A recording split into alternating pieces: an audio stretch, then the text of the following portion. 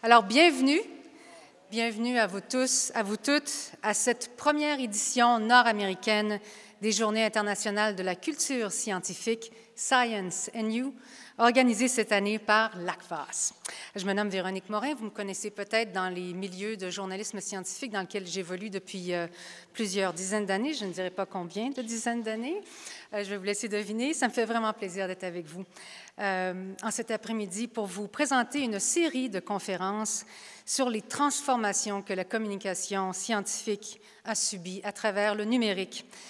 Tour à tour, vous entendrez des communications, des communicateurs, des experts qui se spécialisent dans la communication auprès des jeunes, des experts qui se spécialisent dans les fausses nouvelles et qui essaient de les combattre. Aussi, vous allez entendre des communicateurs qui communiquent de milieux extrêmement difficiles, extrêmes et extrêmement difficiles à communiquer. Et vous entendrez aussi des gens qui trouvent que la science, c'est finalement bien drôle parfois. Mais d'abord, J'invite le président de l'ACFAS, M. Frédéric Bouchard, à venir me rejoindre et à vous dire quelques mots. On l'accueille.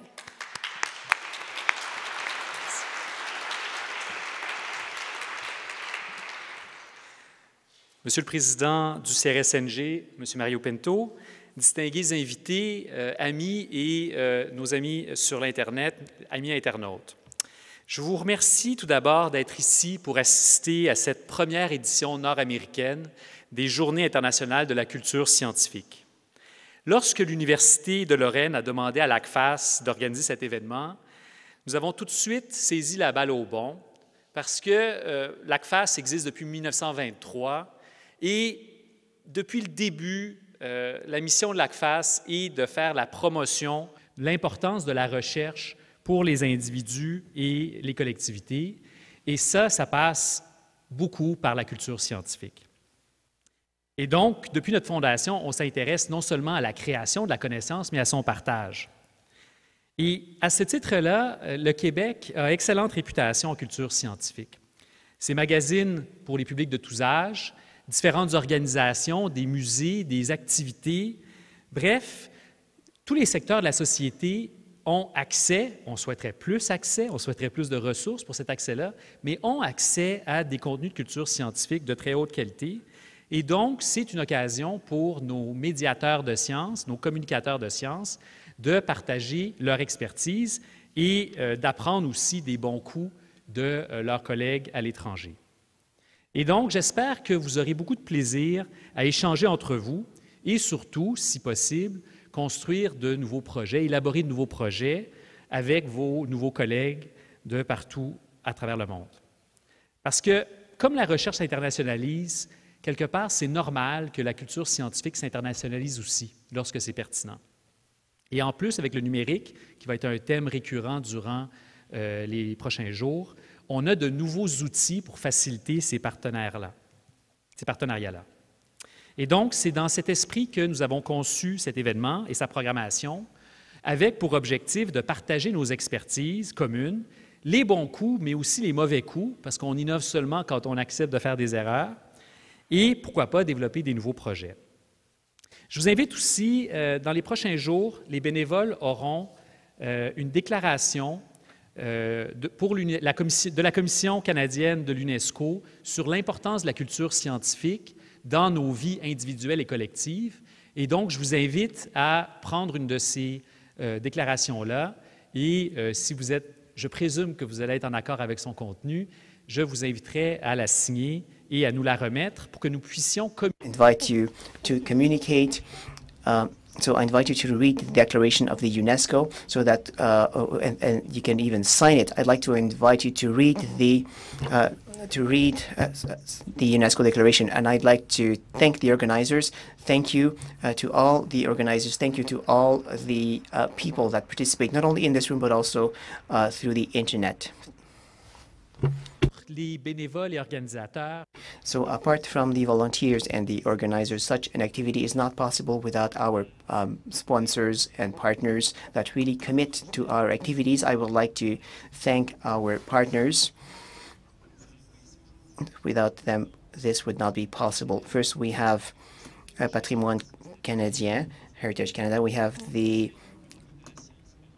uh, National Research and Science Council, the um, Department of Economy, Science and Innovation of Quebec, the Canadian Foundation for Innovation, the McGill University, and the Lorraine University that allowed us to organize this first North American edition of our conference. Uh, Tourisme Montréal, the General Consulate of France in Quebec, Savoir Faire Linux, but mostly thank you to each and every one of you, all of the stakeholders of the science culture of here and elsewhere that help us develop this culture uh, before our audience in our society. Finally, I'd like to invite you that the next edition of the Journée Internationale de la Culture Scientifique will happen in 2018 in Beijing, in China. I was told there was going to be uh, less uh, construction work at that event. I can't guarantee you that, however. So this will be the result of a partnership between the University of Lorraine, the NAIS, National Academy of Innovation Strategy in China, and more information will be available uh, on our website, uh. So here's the address, science-and-you.com. So we are happy to welcome today the Chinese delegation. Welcome. I would like to wish you an excellent uh, conference. Uh, very interesting deliberations, and we wish you good luck in the sharing of passion of science. Thank you.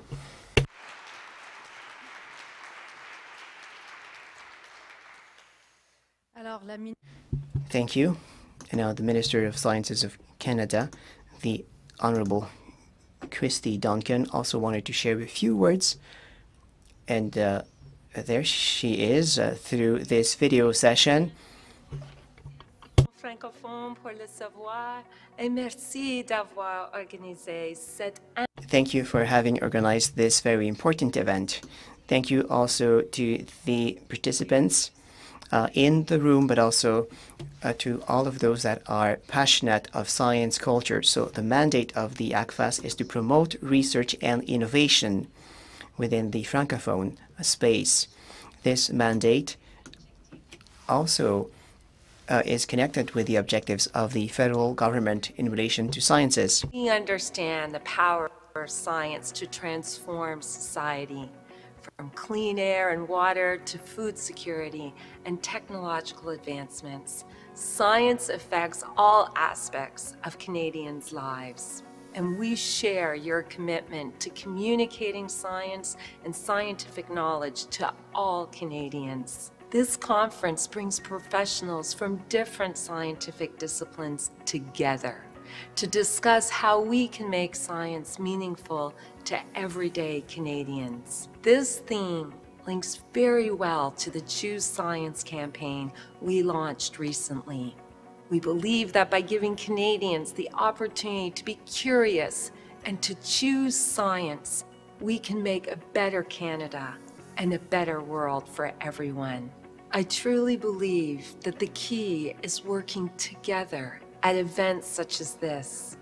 Ensemble, nous pourrons définir Together, we will be able to define a national vision for sciences uh, for the betterment of life of all Canadians. I know that this is going to be a long process, and there is a lot of work ahead of us in order to establish a clear vision, but I am sure that we are all going to succeed with the support of our governmental partners as well as the uh, associations such as the ACFAS. I would have liked to be uh, attending today. But I still wish you excellent uh, deliberations, a great conference. Thank you, and great success to each and every one of you. Thank you.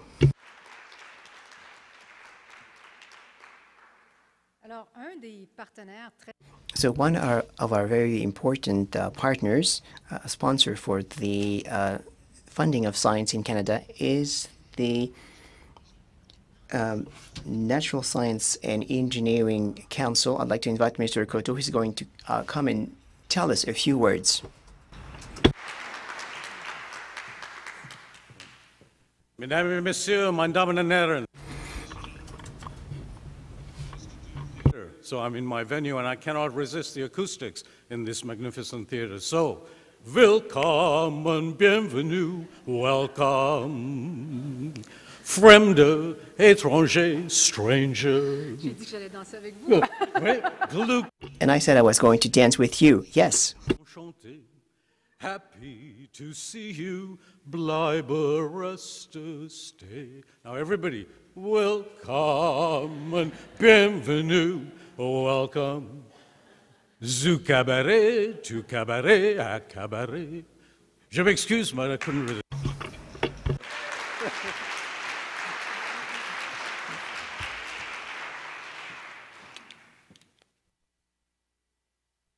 Bonjour à tous et à toutes. Good afternoon, everyone.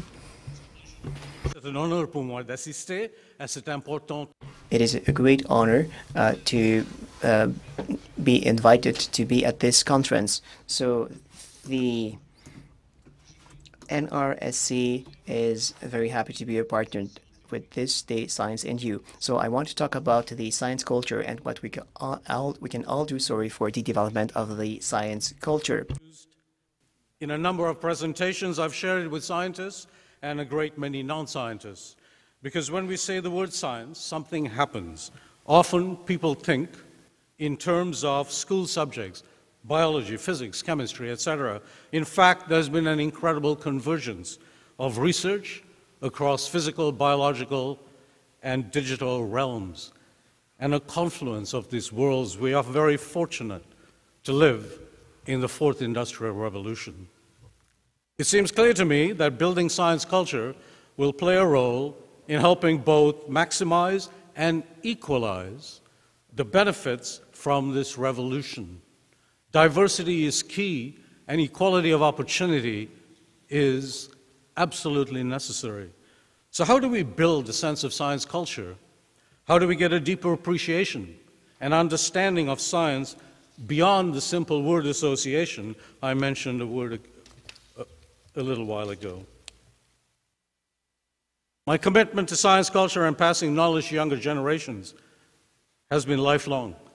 I work to pass my knowledge to younger generations, such, such as my little brother Joshua, shown here, my high school students, graduate students, and postdoctoral fellows. Of course, this mission has also involved my two daughters. And when I was professor of chemistry at Simon Fraser University in Vancouver, I often took them on weekends to malls across the region, and they used to help me to distribute postcards to parents and kids with experiments. The postcards showed simple science experiments that could be done at home. And I wanted to spark people's curiosity. I wanted to engage them in the basic tools of science, the scientific method at a very early age, experimentation, observation, and analysis, and conclusion. This work continued, which shows for the general public. Uh, here I show our chemistry show, a magic show which we call Stinks and Bangs, which my daughter advertised as uh, come and see my daddy blow himself up. Yeah? But we still face the basic question where does science come from? We still have much work to do. So, what's going on in this picture? I mean, this appeared recently. These are two adults dressed up in what look like large diapers, right? Why are they wearing Halloween masks and holding a broken umbrella while talking on a phone in the middle of the woods? En fait un bébé panda So they are tracking a panda baby in the Wolong Reserve in China. This baby panda soon will be uh, freed. So they are uh, dressed in such a way, and uh, their garments have panda uh, ur- urine. Uh, so no pissing around here. So they are collecting important uh, data. This is science at work. This picture uh, was uh, uh, taken by Ami- Amidale uh, Vital. So, for scientists, if you have a universal understanding, this has no limits, only borders. There are no boundaries. This is Sputnik. It values objective experimentation. It is built on transparency and stresses reproducibility of results. Unfortunately, before we can convince non scientists To embrace this culture, another barrier exists. For organizations such as NSERC, this issue is core to our communication efforts. Why does science matter at all? Is it necessary? Who really cares? Well, here's my answer science produces evidence. Research produced the knowledge that smoking leads to lung cancer. These, this photo of these boys taken in Old Montreal was the norm at one time, but the research has sparked further inquiry and experimentation that has driven public policy globally to promote tobacco cessation, cessation efforts. Research produced knowledge that HIV causes AIDS. This has led to effective antiretroviral strategies and continues to inform public health efforts. This image, A Year of AZT, is by the Canadian Artists Collective, General Idea, for patients taking massive doses of the first antiretroviral, AZT. This was a daunting daily chore. but science paved the way for a much more effective and manageable cocktail approach. An infectious disease is now treated as a seemingly chronic disease. And transmission from infected mother to fetus, when the mother is treated, is not detectable. So we've come a long way. Well, what's next? How about graphene? This is a discovery that came out of the University of Manchester Labs, the latest two-dimensional carbon polymer. And I show here an experiment by Chinese researchers at Tsinghua University who fed silkworms mulberry leaves sprayed with graphene-doped water. They then harvested this super silk, you see here, that has been demonstrated to be both conductive and significantly stronger than the ordinary fiber. Even for scientists, maybe especially for scientists, this approach is counterintuitive. It's risky, it's disruptive, but it's exactly what we need to do and what we need to sensitize the general public to. Here's another disruptive idea quantum secure communications using single photons of light. This is Thomas Jennewein's team from the University of Waterloo. I call him John Wayne because his uh, reach has been so remarkable in such a short time.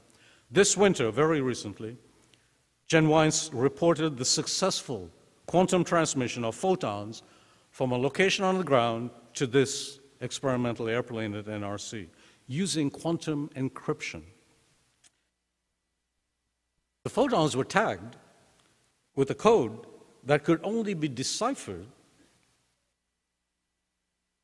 once the receiver had received the photon. Even the sender didn't know this. Right? So, in other words, you don't know what you're throwing until it's caught. This is the ultimate in quantum cybersecurity, if you think about it, and speaks to the recent investment in the Canadian Space Agency of about $80 million to study quantum encryption in space, because this is a major step forward toward more ambitious plans to use satellites for quantum secure communications. This illustrates the paradox of Schrodinger's cat.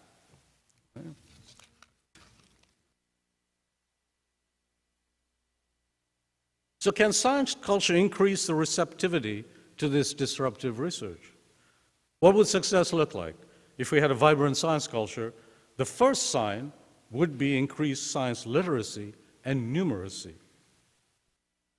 as shown here. Nous voulons des citoyens informés. So we want to have more informed citizens now more than ever in this uh, world of alternative facts. The citizens need to be able to judge by themselves.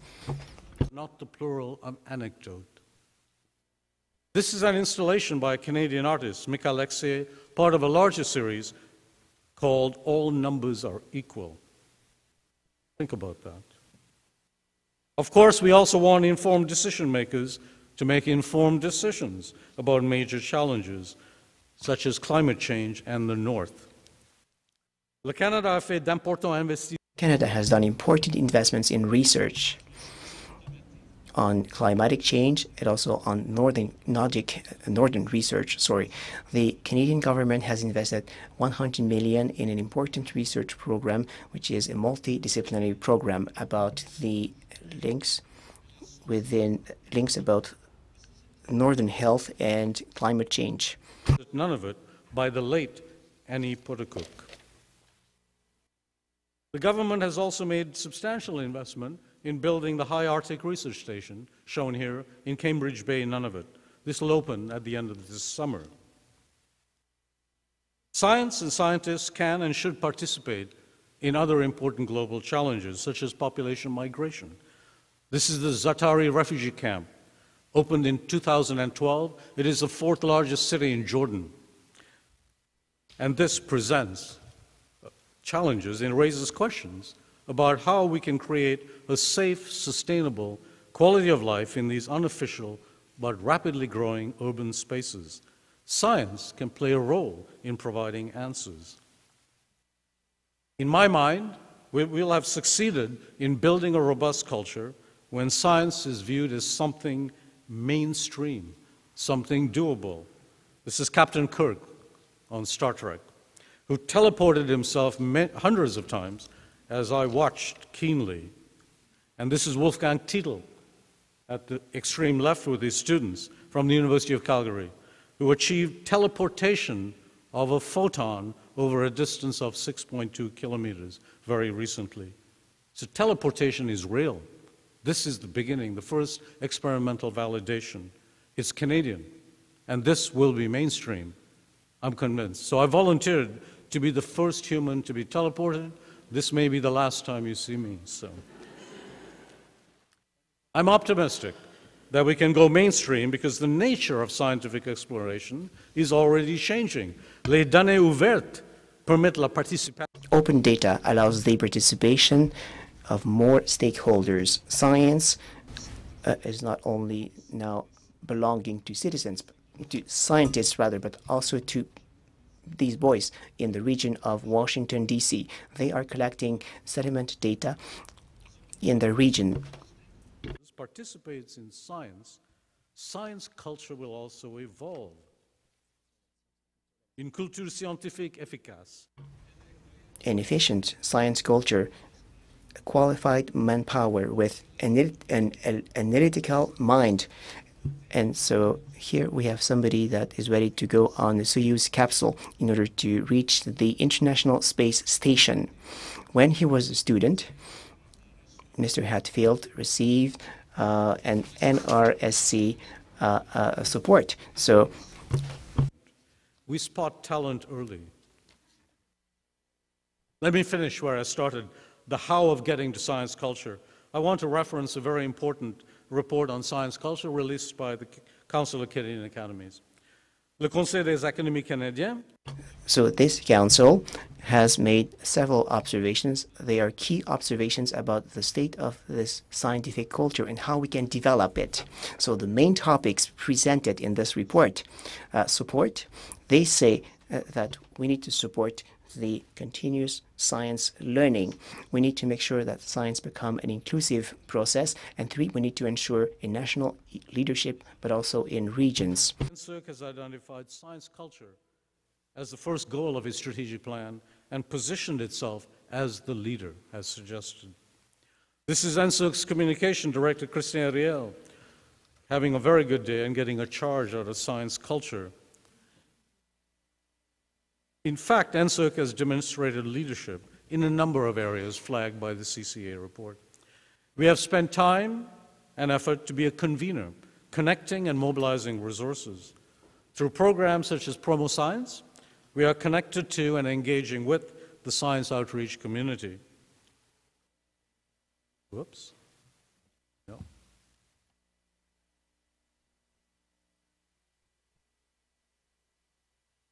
Dans le cadre de l'Odyssée des sciences, qui est sur le point d'être lancée. So within the framework of the uh, Odyssey of Sciences, we have been working to uh, mobilize all of these partners. Thanks to these partners, such as ACFAS and Science Rendezvous, hundreds, uh, 100 science activities are done across the country. and we will continue to use all the means at our disposal and our partners, all of you, to maintain these efforts. En fin de compte, Finally, people are at the core of science. And I would like to thank the ACFAS for having organized this event. Thank you for their work to make sure that we will know better know and celebrate the science culture. Thank you and kudos to all of you. I am happy to participate in this uh, amazing event. Thank you very much, ladies and gentlemen. Thank you.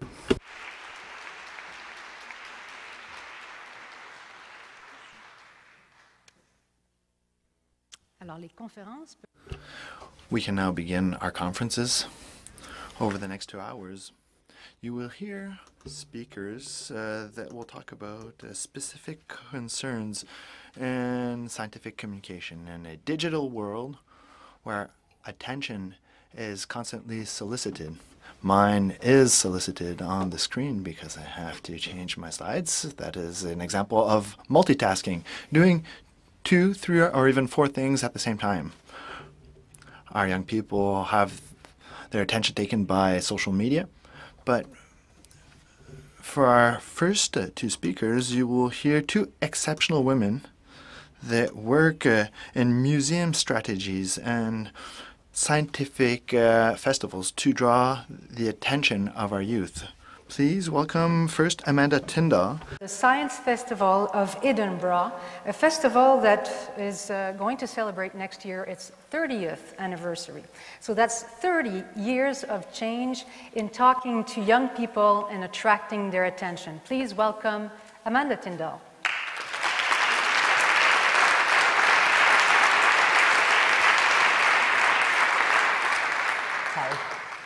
Uh, bonjour tout le monde. Uh, hello everybody.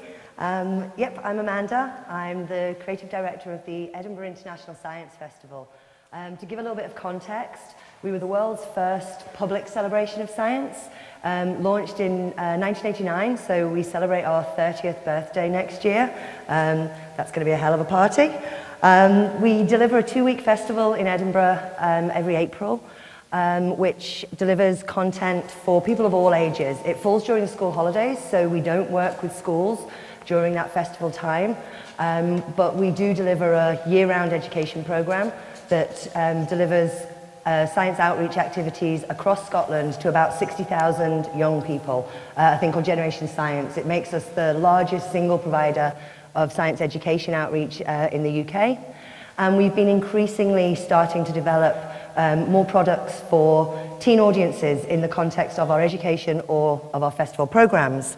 Um, our mission and vision is actually under review at the moment. We're very conscious that um, as an organisation that's 30 years old, there's no point just sitting back and congratulating ourselves on being so old and patting ourselves on the back. Uh, we need to constantly reevaluate what we do and to try and ensure that we future-proof ourselves and that we remain top of our game for, for the next 30 years and beyond. Um, but really we aim to inspire people of all ages to um, about the wonder of, the, of science and the world around them, but more than that, um, to encourage the fostering of a scientifically literate society that understand the relevance of science to their everyday lives and are able to make informed decisions and participate in the democratic process and to help build the sustainable future that we all want to inhabit. Um, so I'm speaking to an audience here that, that know much of this, um, and I'm here really to share my views, but also to, to learn from you. Um, we do this by reaching out to the non-engaged, so um, it's all about audience development. That sits at the, the heart of much of our programming. Um, so interest and identity-based programming is key to, to what we do to reach any specific audience uh, amongst a broad sort of plethora of, of publics, um, including trying to engage with teens. Um, I call it science by stealth, the idea that we pick something, a topic of interest, be it music or technology or, or food and drink, um, and in some respects market that to people with the science a little bit under the radar um, to, to try and reach the people that are put off by the stigma of science, as, as Mario was just saying. Um, and for us, we've been doing that increasingly through cross-disciplinary projects. The world's not split into little silos, and, and we don't think our programming should be either. We want to program across borders and boundaries and disciplines. Um, and having a particular interest in the art-science interface and in the, and the STEAM agenda, which I know in particular um, in Canada and in the, in the US is really gathering steam, as they say, um, and is uh, something that in the UK is not quite as sort of top of the agenda, um, but we're really trying to champion it within the context of our festival in Edinburgh. Um, not just to foster creative thinking and innovative approaches to things, um, but now more than ever, we're really conscious of the fact that in a, in a post-truth world where facts and evidence base are not enough, uh, are not cutting the mustard, and are not shifting opinions or winning hearts and minds, that we need to create much more immersive and emotive experiences to really get to the, to the heart of things. A few examples of things that we've done in Edinburgh. Um, we've been working with the Scottish International uh, Theatre, Children's Theatre Festival, Imaginate, to commission new theatre pieces. Uh, one of those actually won the, the, the Scottish Theatre Critics Award for the best piece of young person's theatre in Scotland last year, um, a piece around artificial intelligence aimed at 10 to 15 year olds, um, which was a great win for us. It was really getting science content taken seriously in the, in the broader cultural sphere. Uh, we did a big music gig um, three weeks ago uh, during the festival where my first foray into rock promotion saw me negotiating with an agent that um, not only uh, promotes public service broadcasting, the band that we had perform their Race for Space album live with the National Youth Choir of Scotland, but also represents Aerosmith and Guns N' Roses. So that was a, an interesting learning curve for me. So all of these things, um, choosing topics like technology, a big exhibition this year we had called Play On, looked at how technology is transforming how we spend our leisure time and play. Um, was aimed very much at trying to increase the number of, of teens um, attending our festival. We do a mini maker fair as part of our festival every year on the final day, which uh, I think my staff hate me for. After 18 days of programming, I then make them run a mini maker fair. Um, but it's a lovely way to, to finish the festival. And again, that has seen us reach a much, a much larger proportion of, of teens. But it's not enough. Um, we feel that we need a new strategy. Um, we need to really commit to tackling the hard problem of teen engagement. And to do that, we've been adopting foresight methodologies, which my, uh, my co-presenter, Kristin, will talk about a little bit in a minute. And that's all about asking people, young people, to make sense of the world and to be part of the solution, not the problem. We devised Fuse Lab, an innovation boot camp for um, 16 to 20 year olds that took 70 young people on a 72 hour journey um, to Mars, obviously, not really. Um, but we asked them, um, how can you create or produce off-world solutions to real-world problems around sustainability and sustenance and transportation, um, taking them into a world where we remove some of the barriers and let their imaginations uh, run wild. Uh, and more recently, we devised Careers Hive, a project that looked to turn traditional careers fairs on their head. Um, a, delivering them to, to people between the ages of sort of 12 and 14 before they make any subject choices in Scotland, um, and much earlier than many people are being asked to, to, to consider career options. But again, we didn't ask what job are you going to do in 10, 15 years' time. Um, we asked how do you want to help feed the world or heal the world, fuel the world, build and connect it, uh, design and play with it. Um, again, though, I don't think this is enough. Um, next year is the Scottish Year of Young People, and we've been talking to our colleagues there in the Scottish Government, um, in youth engagement organisations. And for us, the next step is to really embrace the concept of co-creation. Um, we've been working on a blueprint for co-creation alongside our various partners. Um, and we really want to form a youth advisory panel that we'll work with year round to help devise content curated by young people for young people. Um, we've done a lot. We've had some successes, but we've still got a really long way to go. And I think trying to reinvent the wheel with a festival that's 30 years old um, can have its challenges. That 30 years of, of reputation um, are a great thing. Um, but we've had to, as I say, reinvent the wheel while it's still turning, um, try and change things gradually. Um, and I think that's a good point for me to end because I know that Kristin's going to talk about the next wave, how doing something new, bespoke, and from scratch um, is what certainly I and I believe Kristin thinks is the, is the way forward. So thank you very much.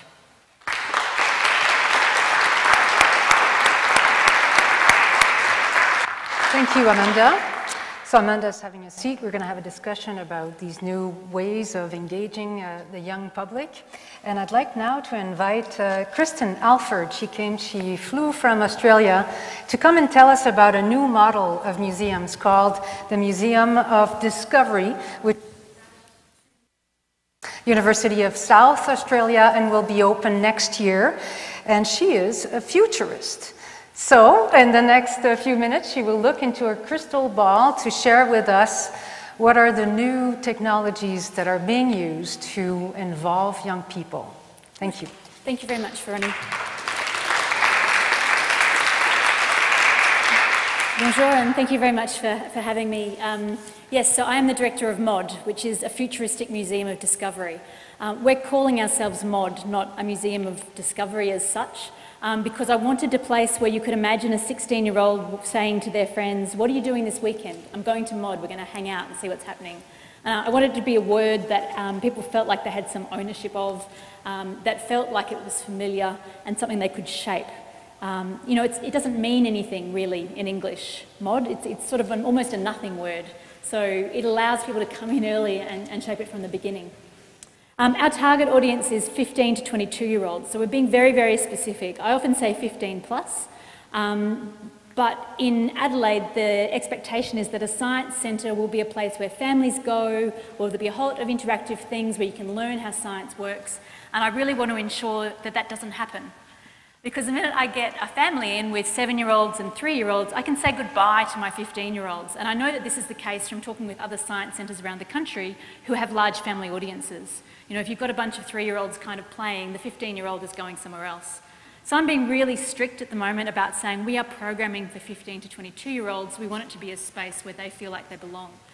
Um, I'm also programming outside the school curriculum because the other thing I get is, oh, you're, you're programming for senior secondary school students and university students. It should be aligned to what they're learning at school so teachers can come in and bring them to visit. And I say, no, I want a program for free range 15 to 22 year olds. I don't want a bunch of 30 kids coming in with a teacher. I want bunches and bunches of five, six, seven um, kids coming in with their friends. So it's a different way of, of thinking. It means we have to think about how we engage schools very, very differently um, from, a, I guess, a more traditional method, which is around designing school visits. It's not what you know.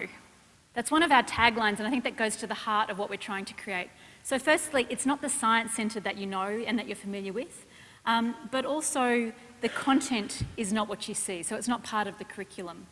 Um, our cycle of exhibitions is based on our local um, indigenous, indigenous, Aboriginal seasons, which means we have three long seasons and a very short spring. Um, so that means we have three major exhibitions and a small festival um, each year. Um, when I say we do, we will next year. We open in May next year. So at the moment, all we're really trying to play with is the festival and, and plan for exhibitions going forward. But the way that we're planning each of those exhibition um, frameworks is informed by a futures framework. So as Veronique said, I'm a, I'm a futurist. My PhD is in engineering. So I'm really bringing both those disciplines of how we think about the future and how we design processes to come up with something new. So firstly, the content is at the edge of knowledge. It's about research. What are our researchers in the University of South Australia exploring that's interesting? What are researchers around the world doing that's interesting? And, and why is that interesting? Because it's what we, are, what we are asking questions about which will inform the future. And so we want to bring that into the, into the space. The second thing is I want to give young people agency, pathways, and a positive image of the future um, because we know that at that age, what most young people are asking is, how do I navigate my future? How do I make sense of the world? What am I going to do and, and what, what's it going to look like? Um, and if we're going to give young people hope, um, I've just referenced hope theory in those three things. So we want them to be able to leave the exhibition going, wow, there's lots of different ways of coming at this. We want them to be positive about where the future is headed, and we want them to be able to take on tips that transform the way that they behave. So, as an example, in one of our exhibitions, we're looking at the body mind interface and how it relates to pain based on some work that some of our researchers are doing with visual tricks and illusions to fool the body into rethinking chronic pain. The research is really interesting. But what we can do with that is then say to young people who are facing exams, if you're feeling pain, there may be several reasons for it, and here are some techniques you can now use to avoid um, falling into chronic pain traps for the rest of your life. So there's something very concrete that comes out of their interaction with that exhibition. We're also using scenario thinking as a basis for exploration. So I'm often asked, you're building a science centre, and people look at the science centres that were opened in sort of 1988 to 1992. Um, I think back to that time, a Walkman was amazing, 20 whole songs in your pocket. The internet was just coming on board, and a lot of the, a lot of the promise of technology was really, really exciting. I think we're in more complex times now when it comes to science communication. Um, so I need a more complex space. And the best way I know how to deal with complex spaces as a futurist is to look at scenarios.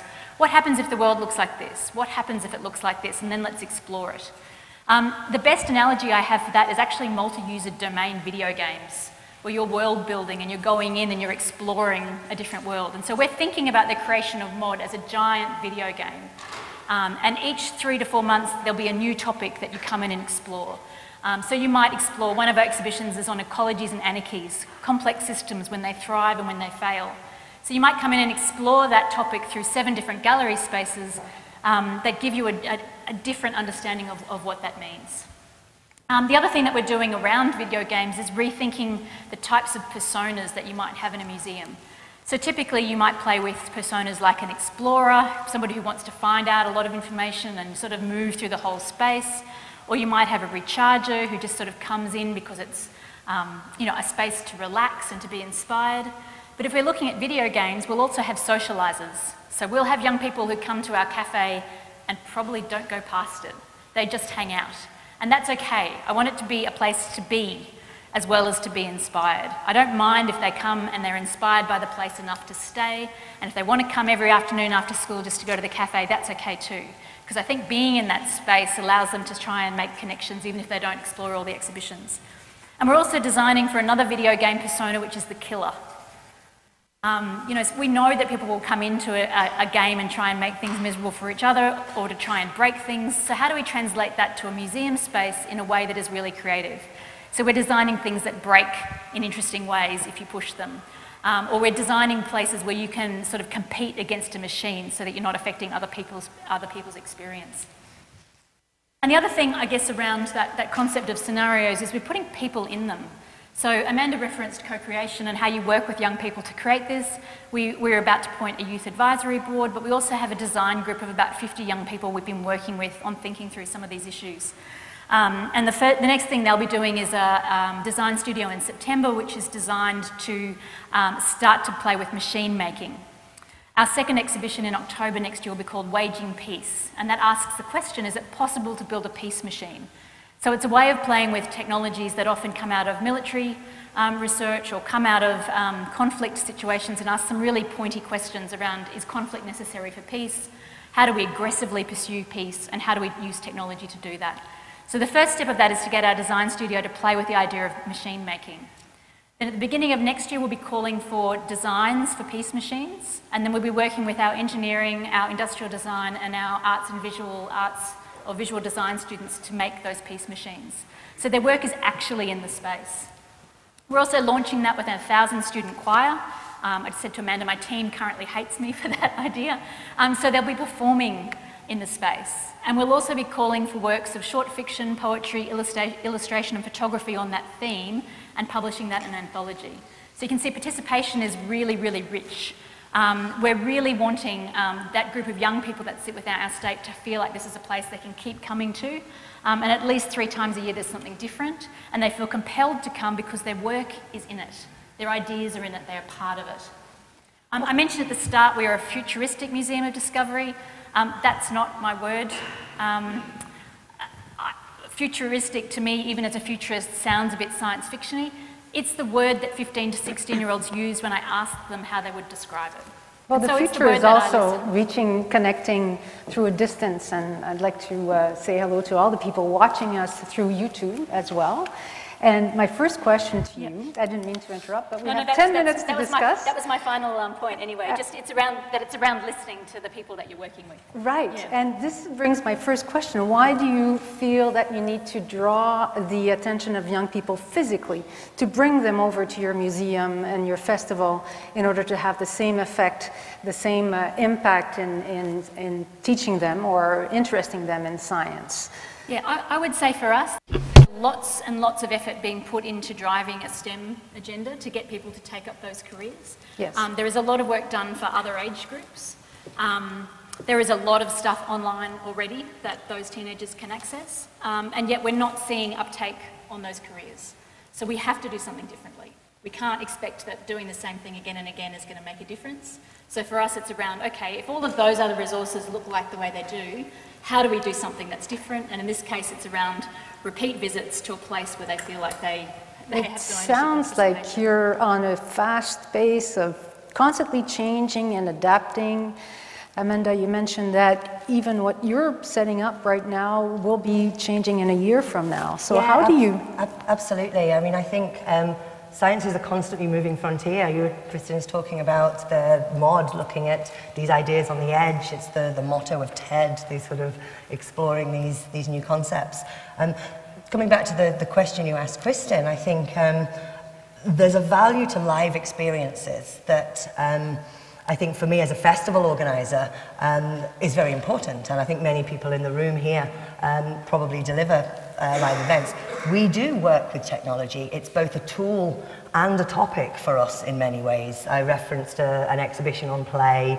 Um, we don't do a huge amount out with a festival in April at the moment, but we know we need to if we're going to build audiences and loyalty and community and to be getting our message across year round. And we know we need to embrace technology more to do that, but we certainly see it operating in parallel to and hand in hand with live event experiences um, because this creation of immersive emotive experiences as i say to me is one way of really trying to move um, people's attitudes in the first instance, behavior maybe. Um, talking to some of our colleagues and, and co-presenters behind the scenes earlier this morning, we talked about um, Don't how that's the golden, yeah, the kind of, the, that's the pot of gold at the end of the rainbow that everybody aims for. Um, it's a lot harder to achieve and it's a lot harder to monitor, but that's going a bit off topic. Right. For those of you, I'm going to just insert this. Uh, for those of you who want to go on Wi-Fi to uh, tweet about this session, this, uh, this event, you can um, log in. You can go on your page 8, la page 8 de votre programme. You can visit page 8 of your uh, agenda. This will give you the uh, Wi Fi address so that you can tweet these interesting developments. Amanda, is there a limit to uh, the number of children that you can actually attract? I mean, there's a certain portion of children that will never, it seems, be interested in science. Is this something? Is this a goal for you to reach all children? I- I'm not sure about all children, um, but the reason we're focused on that 15 to 22 year old age group is we know at 15 that it sort of becomes an identity about people who like science and people who don't. Um, and I notice in, in, my, in my acquaintances and colleagues, I'll have friends who say, Oh, I think I'll take up French. Um, I might start and learn the guitar. And only one person in hundreds and hundreds of talks that I've done has ever said, I've just taken an advanced maths class for, as a hobby. And imagine, imagine if that became the norm. So as easy as, you know, you might go back to taking up guitar or French or maths. Um, and I'm really keen to make sure that you don't have to be doing science and be engaged in science as a career to still enjoy science and ideas around science as a cultural experience. And so when we're talking about that broad audience, I'm as I'm, I think a lot of science talks to the people who love science, and I'm really interested in, in mostly talking to the people who wouldn't say that they love science, but give them experiences where science is embedded. It's a little bit like the science by stealth, but, but quite deliberately um, making science part of culture. Yeah, I think it for me comes back to this idea of the stigma of science. Um, I use an example if you were to stop 100 people in the street and ask them, Are you interested in science? then many of them would say no. But if you ask them, Are you interested in climate or environment or medicine or healthcare or technology? they'd probably say yes. So I'm very optimistic about the idea that the right sort of message delivered through the right medium, in the right way, to the right people, will find a point of interest for everybody. Right. Um, I had a very interesting conversation recently with a, a, a female chemist who's very active in the Women in STEM um, sort of initiatives and, and agenda. And she was on Women's Hour today on the, on the BBC, talking about women in STEM, I believe. Um, and we were questioning um, the effectiveness and the value of a Women in STEM um, video campaign we'd seen um, created by a, a, actually a sponsor of ours um, called Pretty Curious. Um, and it started with this I'm pretty, I'm pretty, I'm pretty curious. Now, this led to quite intense debate um, as to whether this was patronizing, whether this was the right approach, some very varied views. And Polly, the, the, the person in question, said, maybe we've got this wrong. We've always taken this kind of tank girl style approach that um, we remove anything that we think is gender specific or catering to special audiences from some of our approaches. But maybe that's wrong. Maybe there are audiences that are attracted to this. They've shown me some pretty decent evaluation data showing some effective results from this campaign. So I, I don't know. I think, yeah, it's about, as I say, the, the right information in the right way. I feel like asking you a, maybe a bit of a cheeky question because you both talked about co-creative approach, you know, as a new frontier of reaching out to children. So involving them in solutions and making them feel that they're there, they may actually hold the key to drought and to climate change. And do you uh, get, uh, well, you haven't started yet, but I'm sure you've done focus groups and you think about this. Do you get sometimes such good ideas that could, they could be uh, protected intellectually, that could become actually patented. There do children bring out some ideas that are so strong and so good that? Yeah, I mean, I think, I think it's, so I, we've not had any, but I have to say we've not been focused on um, actually talking about the science with our audience, what we're talking about is the experience with our audience. So it's a slightly different thing. We're getting, we're, we're asking our teenagers and our, our you know, university students to say, what would you like the experience to look like and what sort of issues would you like to explore, rather than doing science with them. Uh, um, and then we're taking those ideas. Um, so it'll, it'll be interesting. I, th I, mean, I think the other, the other thing to keep in mind about that is um, we're in a bit of a, um, or certainly in Australia, we're, we're in a time at the moment where the expert is kind of seen as the enemy. You know, and, and so there can be, I think in um, co-creating a lot of things or listening to lots of voices, we also muddle which voice is the right one to listen to. And I think it's a really interesting balance of, of making sure that you are pulling in diverse voices, but also going back to something that has authority and expertise and evidence base beside, beside it. So that's, that, I can't answer the first question because we just, we're, we're taking a slightly different approach. It's not on the content, it's, it's, on, the, it's on the process. And for me, I think it raises a couple of interesting points. I think sometimes it's not about coming up with the right answer. It's about asking the right questions. And I think young people definitely can do that and can bring a new angle and a new perspective to things to sort of um, to make us put a new hat on and try and see things from a, from a new perspective. That said, one of the programs I, projects I referenced, the Fuse Lab project, we, we asked people to come up, young people to come up with their solutions, these off-world solutions. Um, they included them having to come up with brands and do some market research and then pitch these concepts back to an audience of their peers and to experts. And one of the ideas that they came up with, the, the brand, um, if this was ever to take off, they should have patented the logo. They wanted to, their idea was the recycling of human excrement. They, had a, they, they worked with a graphic designer, came up with a brilliant logo for Humanure. human manure. Um, their logo is excellent. Um, yeah, if that ever becomes a business proposition, then I think they should, um, they should definitely demand some royalties. Uh, I think that's one of, one of the things we're trying to do with Waging Peace in, call, in calling for those designs is to say, look, some of those designs might be, you know, clearly really imaginative and not grounded in reality. Um, some of them might be, though. And, and there is the, um, you know, I have a, a colleague in the UAE who a couple of years ago did a Drones for Good challenge. Um, and, I, and I'm really hoping that we get some really good, solid, imaginative ideas that we could then link with, with researchers to create something of value. Oh, that could be another way of attracting children. Yeah. On that note, I'd like to thank you both, thank Amanda you. and Kristin. I'm going to walk you to the door while I'm inviting our next two guests. Thank you very much. Thank you.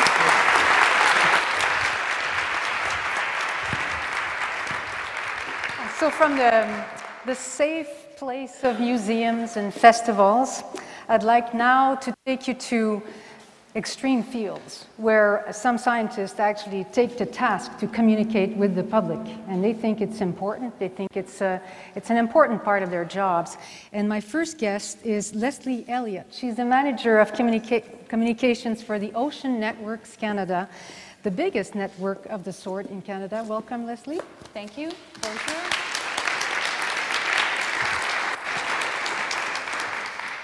It's great to be here in Montreal on its 375th anniversary, understand, and to think back when ocean explorers were setting out across the surface of the ocean to find new lands and riches and hopefully not fall off the edge. And here we are 375 years later, and we still know very little about the sea beneath the surface. In fact, they estimate we know less than 5% about the vast and extreme place on the planet. Ships disappear, planes. We all know the ocean is critical to life on Earth. It gives us the air we breathe, the food we eat. It helps us transport goods and services around the planet. And it may hold the secret to how life began on this planet. We need to better understand it. We need to get more information, more data, we need to have a presence there 24 7 over long periods of time, decades, to understand the changes in the ocean and what that means to us. But it is an extreme and challenging environment. Much like space, but more difficult because of salt water, corrosion, extreme pressures. But we are finding a new way to know the ocean using internet-connected ocean observatories. I'd like to talk to you about Wally that hopefully will help you understand how ocean observatories work. Wally, named after the, the movie character, is an internet-operated crawler. It's connected to an observatory uh, at Barkley Canyon, which is off of the west coast of Canada, where there's a large outcropping of gas hydrates. Wally is at 900 meters depth and he's on a powered internet-connected tether, 70 meters long, and a German scientist sitting in the comfort of his living room, 8.5 kilometers away, wakes up, drives him around, turns on his webcam, uh, collects data on multiple sensors, and collaborates with other scientists to understand this vast, research, vast resource on the ocean floor. It's estimated that there's more energy trapped in methane hydrates than in all the world's oil, coal, and gas put together. We need to understand it. We need to understand how it's changing as the ocean changes, and events such as earthquakes occur. And scientists collaboratively are doing this online.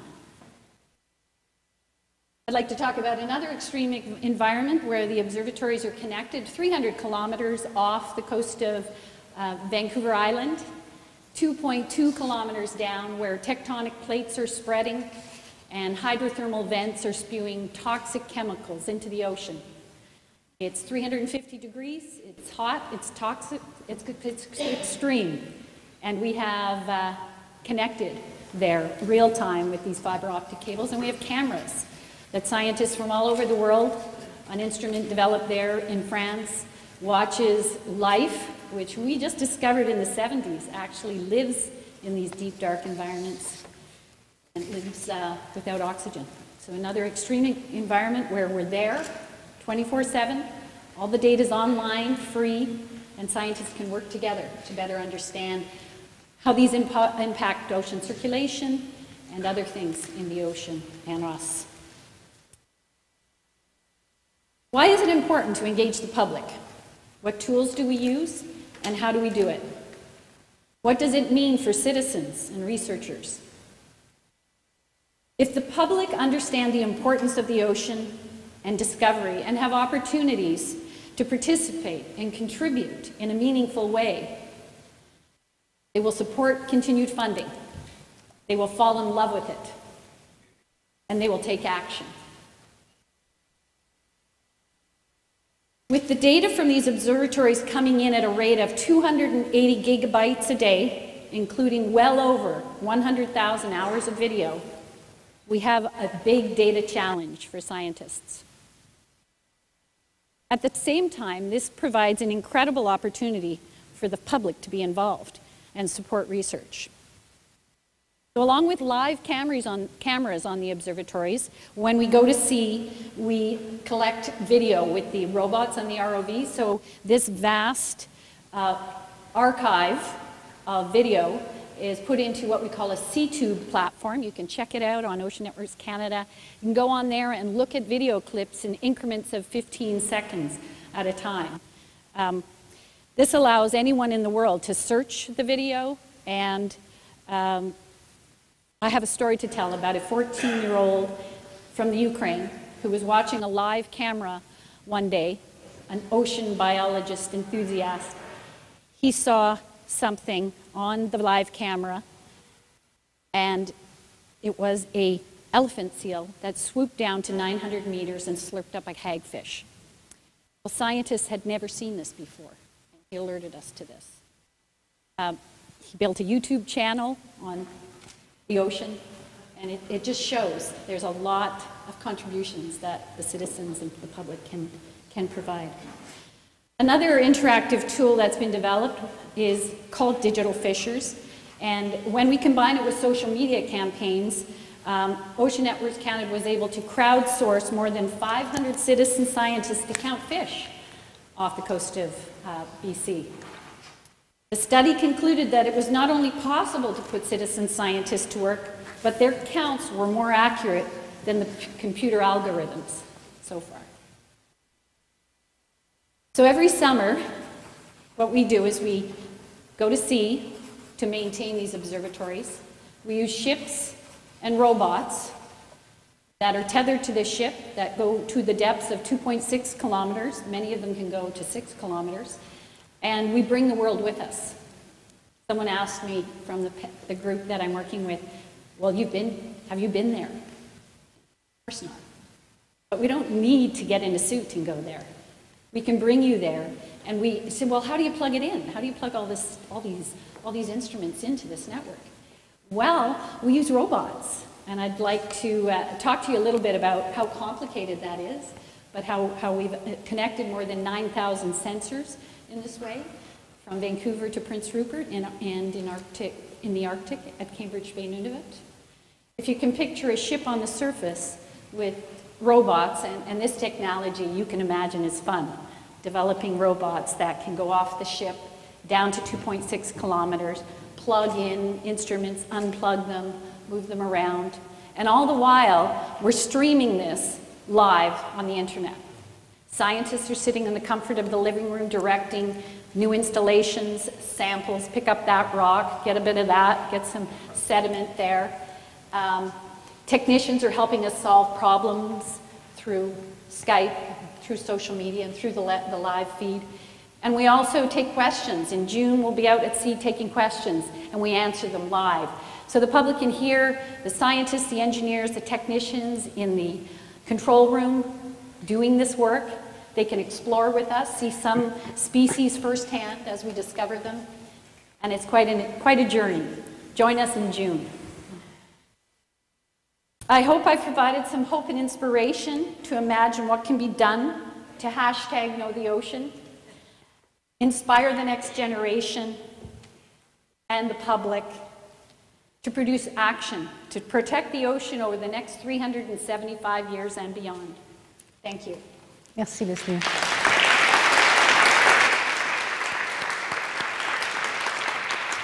Alors, Leslie reste avec nous et j'en profite maintenant pour inviter.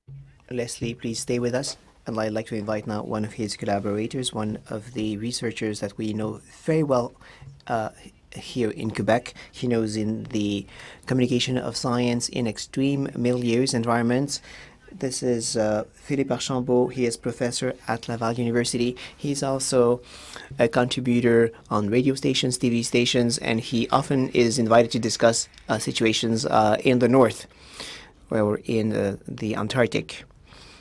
Thank you. Thank you for having me. Thank you, Leslie, for this excellent introduction. So, uh, again, Leslie has mentioned that in 19% of the bottom of the sea has not been explored. So even though I don't have any slides, please use, use your imaginations. I'm going to uh, uh, make you imagine the Antarctica. Uh, I have been there.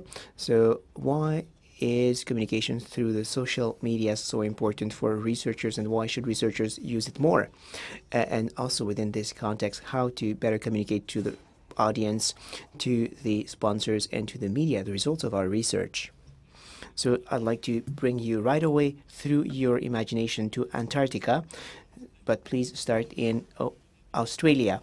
You have a 120 meters icebreaker in front of us. This is the Russian uh, Russian uh, ship and uh, I don't speak Russian. You go on board, and now we're going to the Antarctica. Five days of travel uh, in on the sea to the south. So I don't want you to be seasick. We're going to move a little bit. So imagine five days long travel. You are a scientist. You're doing your testing. Unfortunately, you are in the Antarctica. There are lots of currents. This is one of the sea areas which is very, very agitated for more than 24 hours. You cannot work, not do your uh, research, but you can use the social media during that period of time, you have 10 or 15 meters waves during 24 hours. But I don't want you to be seasick. So now uh, you send little tweets, you can send messages and tweets. So Expedition ACE to Canadians going to uh, the South Pole. It sent ACE project. The objective is to study the climatic change in the Antarctica. And then you send it. And you continue like this uh, project from Philippe Archambault. What is the objective? To study uh, to study the uh, situation on board uh, in this ship. So you can then uh, answer to questions. You can connect to uh, you can connect to students, and so you can back you can answer back, and then this is an educational project. So this travel of uh, in this glacier, which is very, very extended. So you want to study uh, what happens, uh, what's the impact uh, on the Antarctica fauna. So while we are traveling on the sea, you get many tweets from social media, and this has been distributed. And so a few journalists also want to send you messages. Is it possible to uh, have a live interview when you're going to use your submarine uh, to go under the sea, 900 uh, meters deep under the uh, ice when you're talking about an extreme environment. So now we traveled for five days southbound. We had to stick to a glacier. The wind, wind was 130 kilometers uh, uh, an hour, and we had to wait the end of the wind in order to be able to use our submarine. I stayed uh, on the ship. I was not going that deep, but just imagine how extreme this is. The uh, uh, nearest uh, human is at many kilometers from us, the distance from Montreal to Winnipeg, more than 1,000 kilometers. Over there, they have a French base. They don't have big ships. Why? I will tell you soon. But in the meantime, I am receiving uh, messages, and one journalist asks me, can we do a live interview this afternoon? And then we can do the pre-event interview this morning at around 10 o'clock. Good. Uh, 10 o'clock for me, 10 o'clock for them in the morning. So we want to do the interview, and I want to uh, use the Iridium uh, phone for the pre-interview for the live during the afternoon. Hello, Mr. Archambault, what's the objective of your expedition? The objective is quite simple. We want to dive under the sea. Sorry, sorry. The ship just turned and the antenna was not in communication anymore with the satellite. We lost the communication. We had to dial back, dial back right away. And finally, I explained we're going to dive with this robot submarine 900 meters deep in order to study the underwater fauna and to study the importance of this glacier, which corresponds to 25% of the water uh, that uh, provides the deep currents. And so this uh, breakage of the icebreaker, uh, four kilometers long, has destroyed a polynya, which is an area uh, of ice where there are lots of life. This is like uh, South Pole oasis.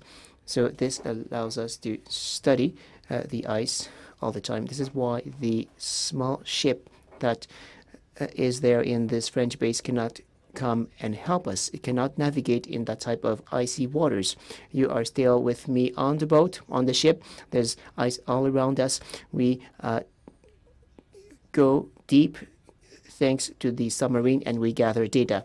All that time we can send communications. I still don't have any results as a scientist. I've just traveled uh, uh, uh, uh, uh many days. I've been seasick and vomited, but I was able to uh, communicate with many people in order to educate, in order to share the importance of our research in the Antarctica. I was also been able, I have also been able to attract journalists to our work. I don't have results yet. I haven't discovered a cancer remedy. I've just communicated science so far. And this even goes further. I can say this project was funded by the uh, NSERC, by the NSERC, by the uh, institute so so and such. So this way I can value not only my research, but I can also uh, present our funders, sponsors that allow us to do this type of research. So uh, we're not going to uh, remain in Antarctica. Let's continue our travel in our imagination. There's education, communication, and many levels. Once the submarine submarine uh, comes out, now we have images, visuals that we can share. We had communications and visuals. So all of this later, we uh, finally did the interview, not live, but uh, it was uh, with 12 hours of uh, uh, delay. So this is an extreme milieu. We have uh, sun 24 hours a day in the Antarctica during this period of the year, and everything was fine. So we do the interview, everything goes fine, it's broadcast. I still don't have any result, but my research has been broadcast, and slowly we have been able to communicate our work in the Antarctica. Here's my message. What's important is I believe that researchers for a long time, we have been very good writing papers, uh, remaining in our silos, far away from the population. But now it's important. It's not now only a matter of choice, but now it has it has become a task. Lots of our research is funded. We need to communicate to the audience. What are we doing in terms of research? That's and one way one way is through the social media that it's possible. Thank you. No, that's fine. So I think you made a really strong case that yes, communication, science communication is super important, so much so that you're going through great length to communicate in extreme environments where it doesn't always work out for you, right? You get cut out, where you don't actually have results. My first question to you is Is there a danger of misunderstanding the science for the public? You know, when they see these pictures, misunderstanding what it means, what it's about. Uh, when you talk about citizen science, having citizens collect the data, is there a danger that they collect the wrong, you know, the, that they don't collect the right data? If you allow me to answer, I'm also involved in the project that Leslie described previously. We always have to validate the data. Scientists uh, get, get uh, data from the public. The public helps uh, to watch thousands of hours of video the videos that we shot in Antarctica are viewed by people who uh, enjoy watching these videos. And sometimes we'll share with scientists elements that have been overlooked. But we always have to validate data that's um, provided by the public. It's important to engage the public and that you get sometimes even uh, from the public answers. You know, some, some people provide answers to what they, they say. So it's a way of engaging the Absolutely. public. Absolutely. And, and it's a vast place. I mean, there's a lot of, you know, just legwork collecting data, right? I mean, uh, the Fukushima example was a good one, but um, another project we do is we, it's called Community Fishers, where people are going out fishing every day in an area where we would like to collect data. And they're quite capable of lowering these instruments, bringing them up, They get up, the data gets uploaded to an app, and then the scientists have that area that's currently a gap of data, and they have that.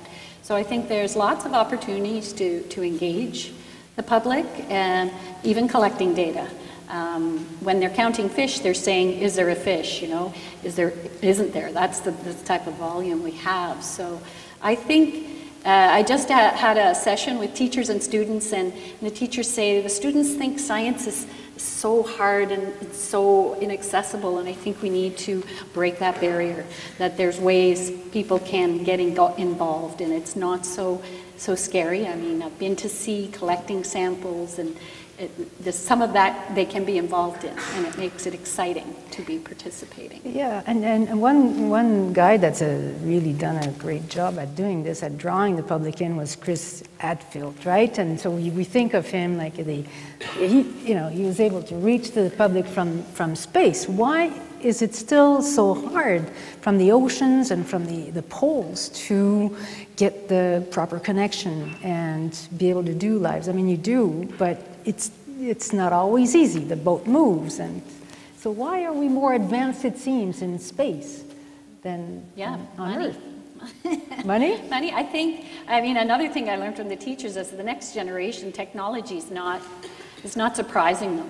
What, what's possible is what we dream and what we put, uh, you know, what we invest in. And, and I think connecting from the sea, from my example, is, uh, is challenging but we are overcoming the challenges um, as we practice, and the public is willing, as long as we communicate using social media, to stay with us, and we give them nuggets to keep them along when the weather changes or the satellite's off. There's a lot to talk about when we're out there. Like you say, they're interested in what's it like at sea. So if we're not actually seeing things in the moment, talk about what it's like, life at sea. You know, we work 24-7, 12-hour shifts. It's hard work.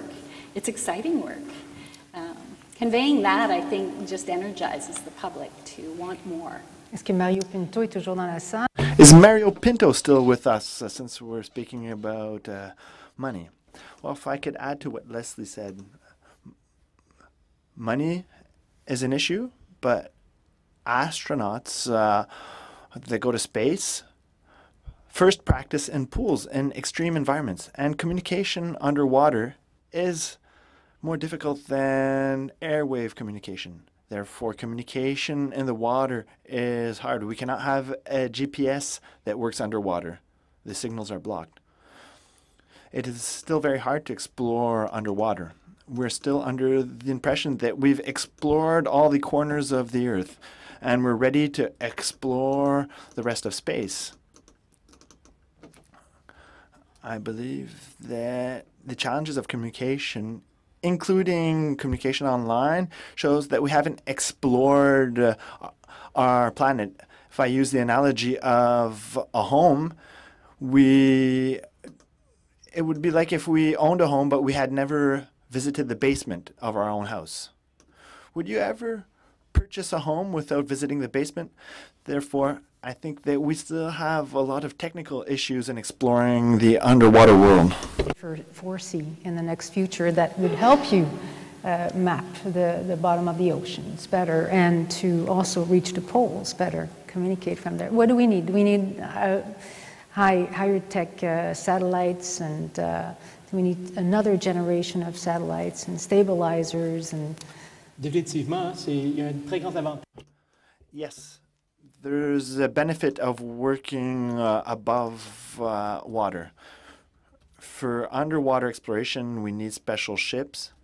We have new uh, self-guided submarines that could help us cover long distances to uh, do mapping work. And when uh, these uh, submarines recharge, they can download the data which would allow us to rapidly increase uh, the quantity of data we can collect and cover larger surfaces. Technologies, yeah. what to look forward to, uh, what uh, the military is quite advanced. Why don't they share? Well, uh, the military were the first, right, to mm. explore the ocean to for tactics and and various and and in the U.S. Well, we use mostly U.S. research vessels. So research vessels for Canada, a, a, a, country with the longest coastline in the world, is something Canada should be investing in. It is. Uh, it is an important, I mean, the Coast Guard will be expanded, I'm sure, but uh, having our own research vessels to go into these environments, um, the, the remotely operated vehicles, I think people, uh, you, know, you know the people who go in the suits and they go down personally, this is not uh, possible, um, but the remotely operated vehicles played a huge role in facilitating uh, some of these are made uh, very high tech, specific for science. What they can do, you know, 3,000 kilometers beneath a ship, uh, navigations and all the, the, drivers on the ship to do this, it's quite incredible. And I think that technology will continue to develop. Um, yeah. Yeah, I, you mentioned uh, uh Russians and uh, think about uh, collaboration in the world of communication. Um, is this something that is working out? Uh, are you able to? It, I suppose it's vital. Huh? You can't just work it's on one solo. Ocean.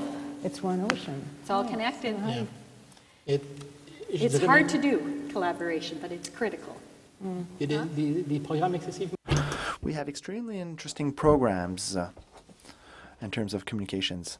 Let me state, for instance, Argos program where different countries will um, set uh, sensors uh, and devices everywhere on Earth, and each time the device comes back to the surface surface of the water, it sends information to satellite. It's like a moving weather station that um, follows different ocean currents, and this is an example of cooperation. We need these cooperations to go to extreme areas of Earth. There are some regions in Canada where there are ice layers that are more than seven meters thick where icebreakers cannot access. So there are some uh, extreme areas that are unexplored on Earth where cooperation is crucial. Scientists all over the world are coming to use the, the Ocean Networks Canada is not just a facility used by Canadian scientists, so there are huge collaborations across around the world, um, both developing this technology and working with us as we develop it, but also bringing experiments and questions, developing instrumentation to be down in these environments 24/7. Um, from all over the world. Well, that's great. Thank you, Leslie Elliott and Philippe uh, Archambault, for laying out all the challenges ahead of you and several years of, of um, wonderful communication with the public. Thank you for your dedication and coming to tell us about this. Thank you for having Merci us. beaucoup. Thank you.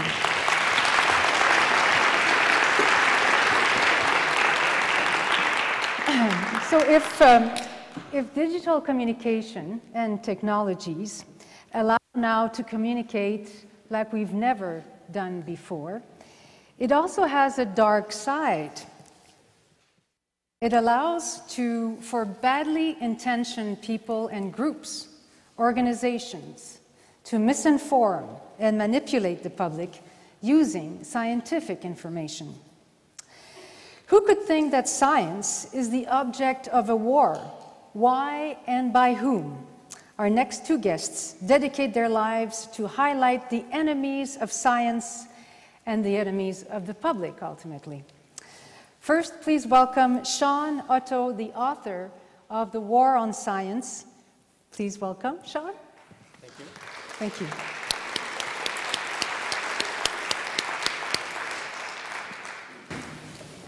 So, wonderful to be here. Um, science and democracy are very closely intertwined. In fact, very early on in 1789, Thomas Jefferson wrote a friend that wherever the people are well informed, they can be trusted with their own government. But what happens now, some 240 years later, when we are inundated with advanced science and technology, when huge science issues are affecting our public policy not just on a local or on a state or on a national basis, but on a global basis. You know, back then, you could understand things. The average voter could generally understand things and become well informed. Even a generation ago, you could make a radio at your kitchen counter or kitchen table. But if you take out your cell phone, you notice that there's no Phillips screws on the back side. It's hard to take modern technology apart, and that makes it less accessible. Both the cell phone and Harry Potter's broom are made by people cloistered away wearing long robes and uttering strange incantations. And at that moment that science becomes something that's more mystical, we become more vulnerable to disinformation campaigns. So we see ourselves entering into a new era of alternative facts and fake news where politically contentious science issues, where the evidence is indicating some kind of public policy response, become attacked by fairly sophisticated public information or public relations campaigns. Uh, one example of this uh, is, of course, climate change, which we've heard about uh, endlessly in the news. But it didn't start there.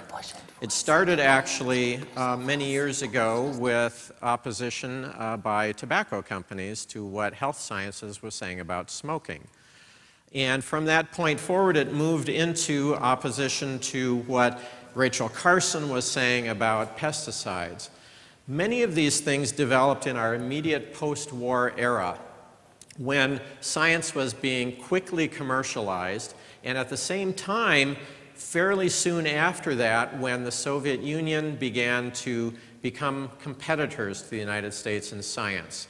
Uh, in 1949, the Soviets exploded their own atomic bomb, and in 1957, they put Sputnik into space, and that prompted what really became not just a space race, but a science race.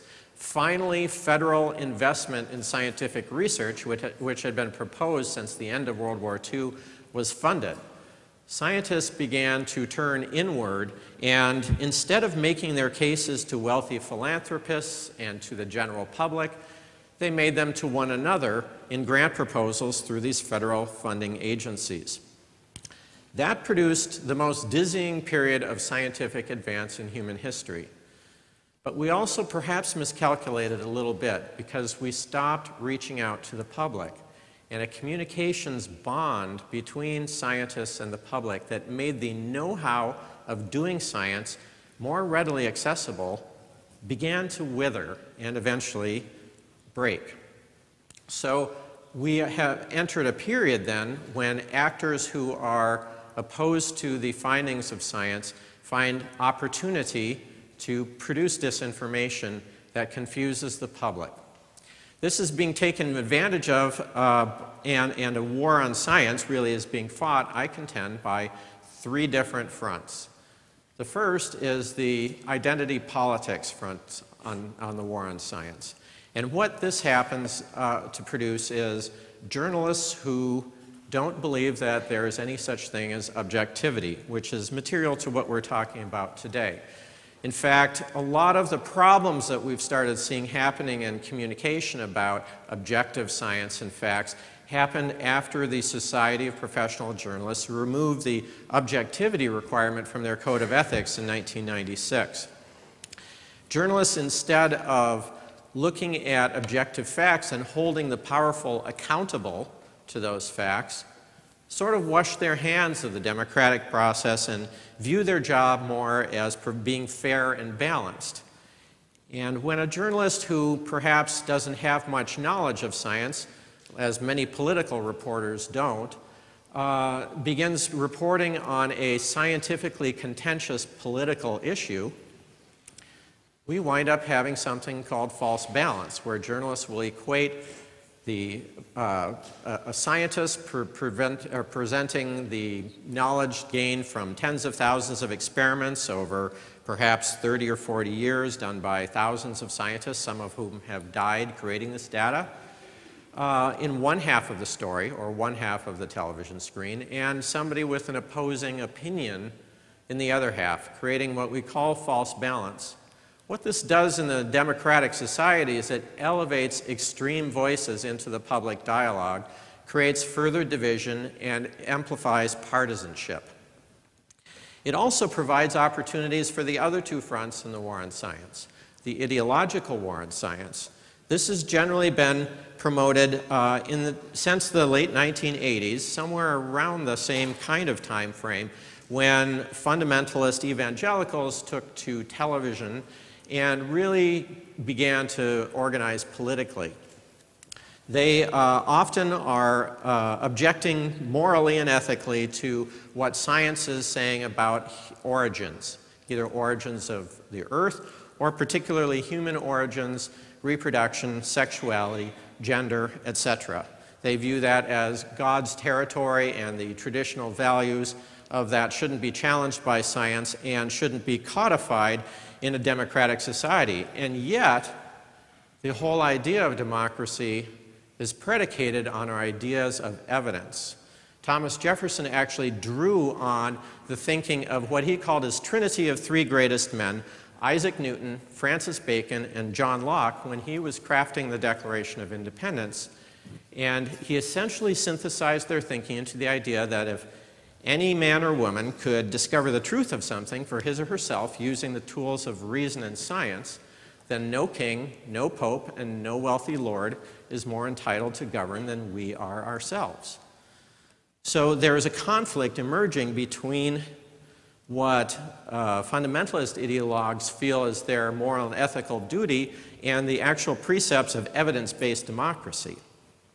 This is being enabled to a certain extent by media who views their job as balancing different views. Finally, the third front in the war on science is probably the most troubling, and I mentioned it briefly earlier, uh, which is the industrial war on science. Here we see about uh, $1.2 billion a year being spent by energy industry companies alone on public misinformation campaigns uh, including sophisticated public relations campaigns, fronting grassroots astroturf organizations, and doing a number of other things that are all focused on creating uncertainties in the public mind about what the evidence indicates. This is for the strict purpose of forestalling or reversing regulation or legislation that the evidence suggests we should be doing, but they oppose because it affects their business model. So this constellation of three different fronts in the war on science, the postmodernist or uh, identity politics front that uh, argues that there's no such thing as objectivity that has affected our journalism, the ideological front uh, that has uh, argued morally and ethically against science and evidence and public policy, and the industrial front that has worked to create a great deal of uncertainty, are coming together at a very sensitive time because we are at a point in human history when scientists and engineers no longer need to be together in one room or one lab or one time zone or one geography to work together. So we're seeing a qualitative difference in what we're able to do over the internet and a quantitative difference in the number of scientists and engineers that are doing it to the point that we're creating knowledge about 10 to 12 times as fast. I'm not just talking about data. Data we're talking about maybe 100 times as fast as we have in the recent past, but knowledge about 10 to 12 times as fast. So we will be creating as much new knowledge in the next 20 to 30 years as we have since the beginning of the scientific revolution. All of that knowledge needs to be codified in our legal system. All of it needs to be morally and ethically parsed and discussed. We need to have public conversations about all of it. And we're in a time when the level and sophistication of that knowledge is exceeding what any one scientist can know, much less what the general public can know. So I argue that we're approaching uh, an existential crisis for our means of making decisions about public policy in democracy, and that we have to find new techniques for bringing this advanced scientific knowledge into our public policy dialogue. That's why I helped organize uh, an initiative called sciencedebate.org uh, with Matthew Chapman, Sheril Kirshenbaum, and others to get the candidates for United States president to debate the big science policy issues that are affecting everyone's lives now. We've done that online for the last three presidential cycles, and I've also spoken to science journalists in several different countries around the world about how to create parliamentary science debates in an effort to begin to at least incorporate this into our political dialogue in a way that combats disinformation. Uh, finally, I also wrote the book, The War on Science, kind of in an effort to reach out on these issues again and helped uh, as one of the many, many organizers behind the recent March for Science. And I think that I'll leave it there. Uh, but that gives you kind of an overall perspective on where I'm coming from. Merci, Shawn. Merci. Alors, ça met bien la table pour notre prochain. I believe that sets the table for our next uh, guest, who dedicates her time in identifying fake news, fake scientific information. Her name is uh, Vanessa Schipani. She joined uh, the team of factcheck.org. She also helped the development of uh, scicheck.org. She works on finding and presenting to the public fake news. Uh, please welcome Mrs. Vanessa Schipani. Um, so the main thing that I want to talk about today is um, the strengths and limitations of science as it relates to politics. So uh, Veronique gave you an introduction to what uh, organization I work for, but factcheck.org, I'll just say it again in English. um, it is uh, a nonpartisan, that's the very important point. We're a nonpartisan nonprofit based at the University of Pennsylvania at the Annenberg Public Policy Center. And we spend our time monitoring the claims of US politicians, uh, so only US politicians, but trust me, we have our hands full. Um, and I am their science writer. So factcheck.org has been around since 2003. It was one of the, if not the original fact-checking organization before it became a fad. Um, but SciCheck was uh, established in 2015. Um, and so I concentrate on scientific claims uh, only.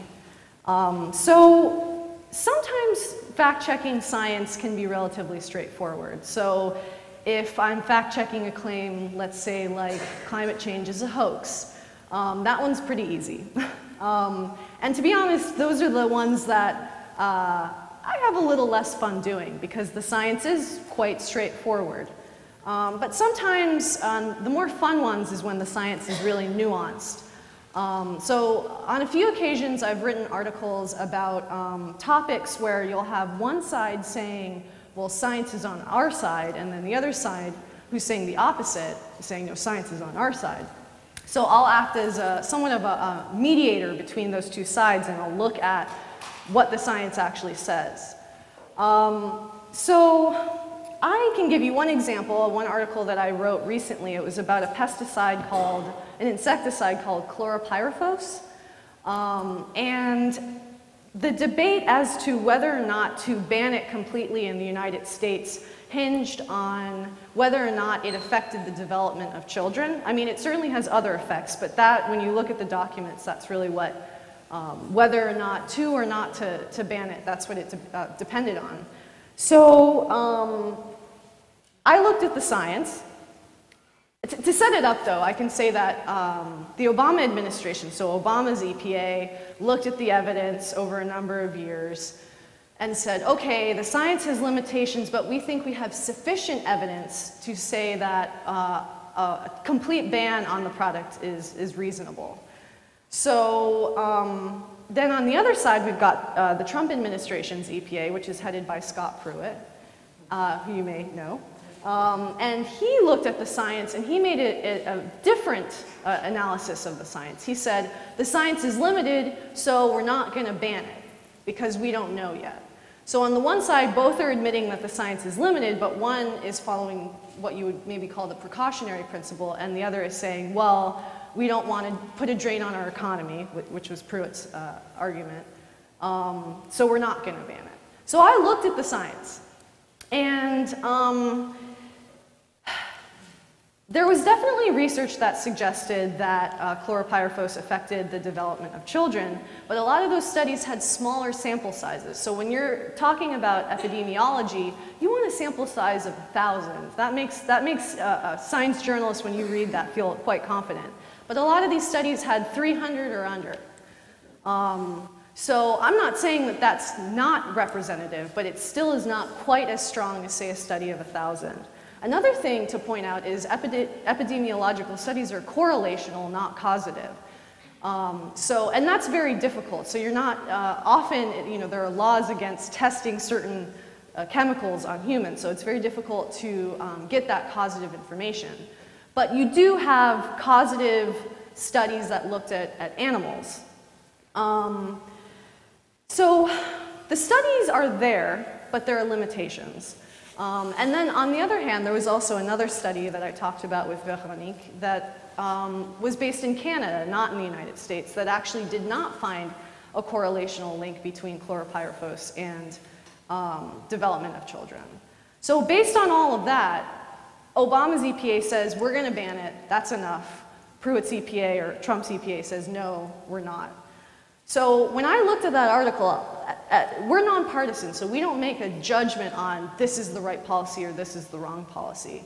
So I said, here's the evidence, and I left it up to my audience who reads uh, factcheck.org to, to make that judgment on their own.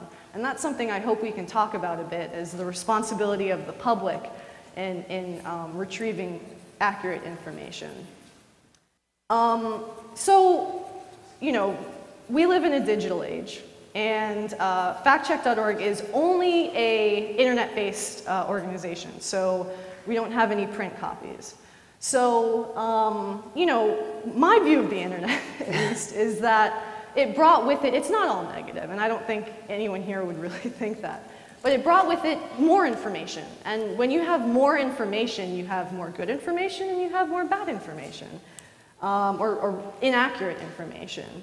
Um, so at FactCheck, we try and combat that information that um, gets spread across the internet, maybe at sites called Natural News or foodbabe.com, um, you know, that, that spread these claims that really should have died a long time ago. Um, so one question that we get over and over again is people will email factcheck.org and say, I read on this article on naturalnews.com or some other site that vaccines aren't safe and they cause autism. Is it true? And we still, on a weekly basis, get those questions.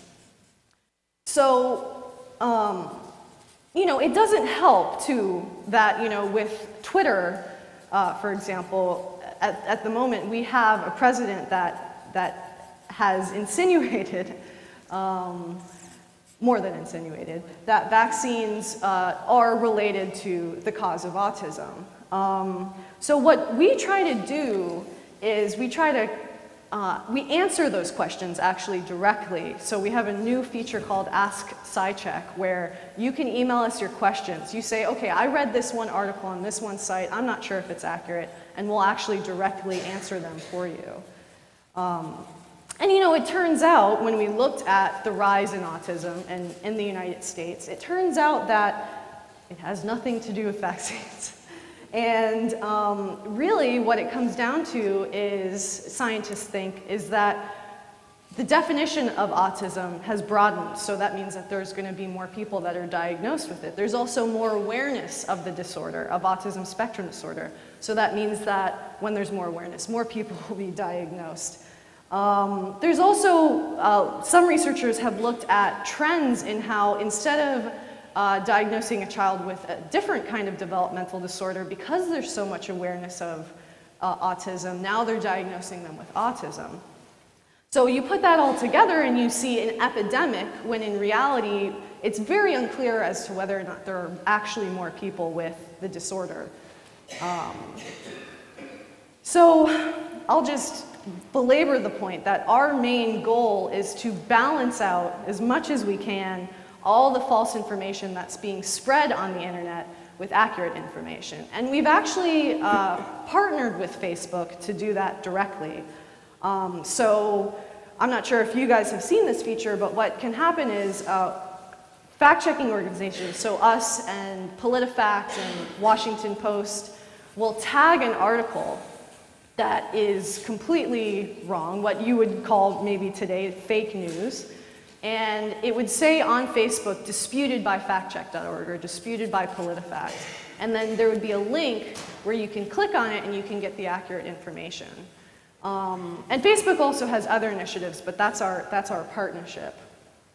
I'd like to make one comment about fake news. I actually think that the term is misleading itself, um, at least with science. So there are definitely fake news articles that really have no morsel of truth to them. I, we don't even know where they come from sometimes. But with science, often, it's based on a certain, there's a morsel of truth to it, or it's a misunderstanding.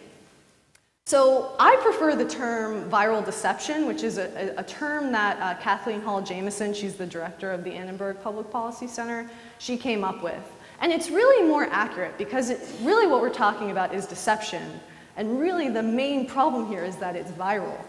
Um, so I prefer that term. I don't know if it'll catch on, but I think that term makes a lot more sense.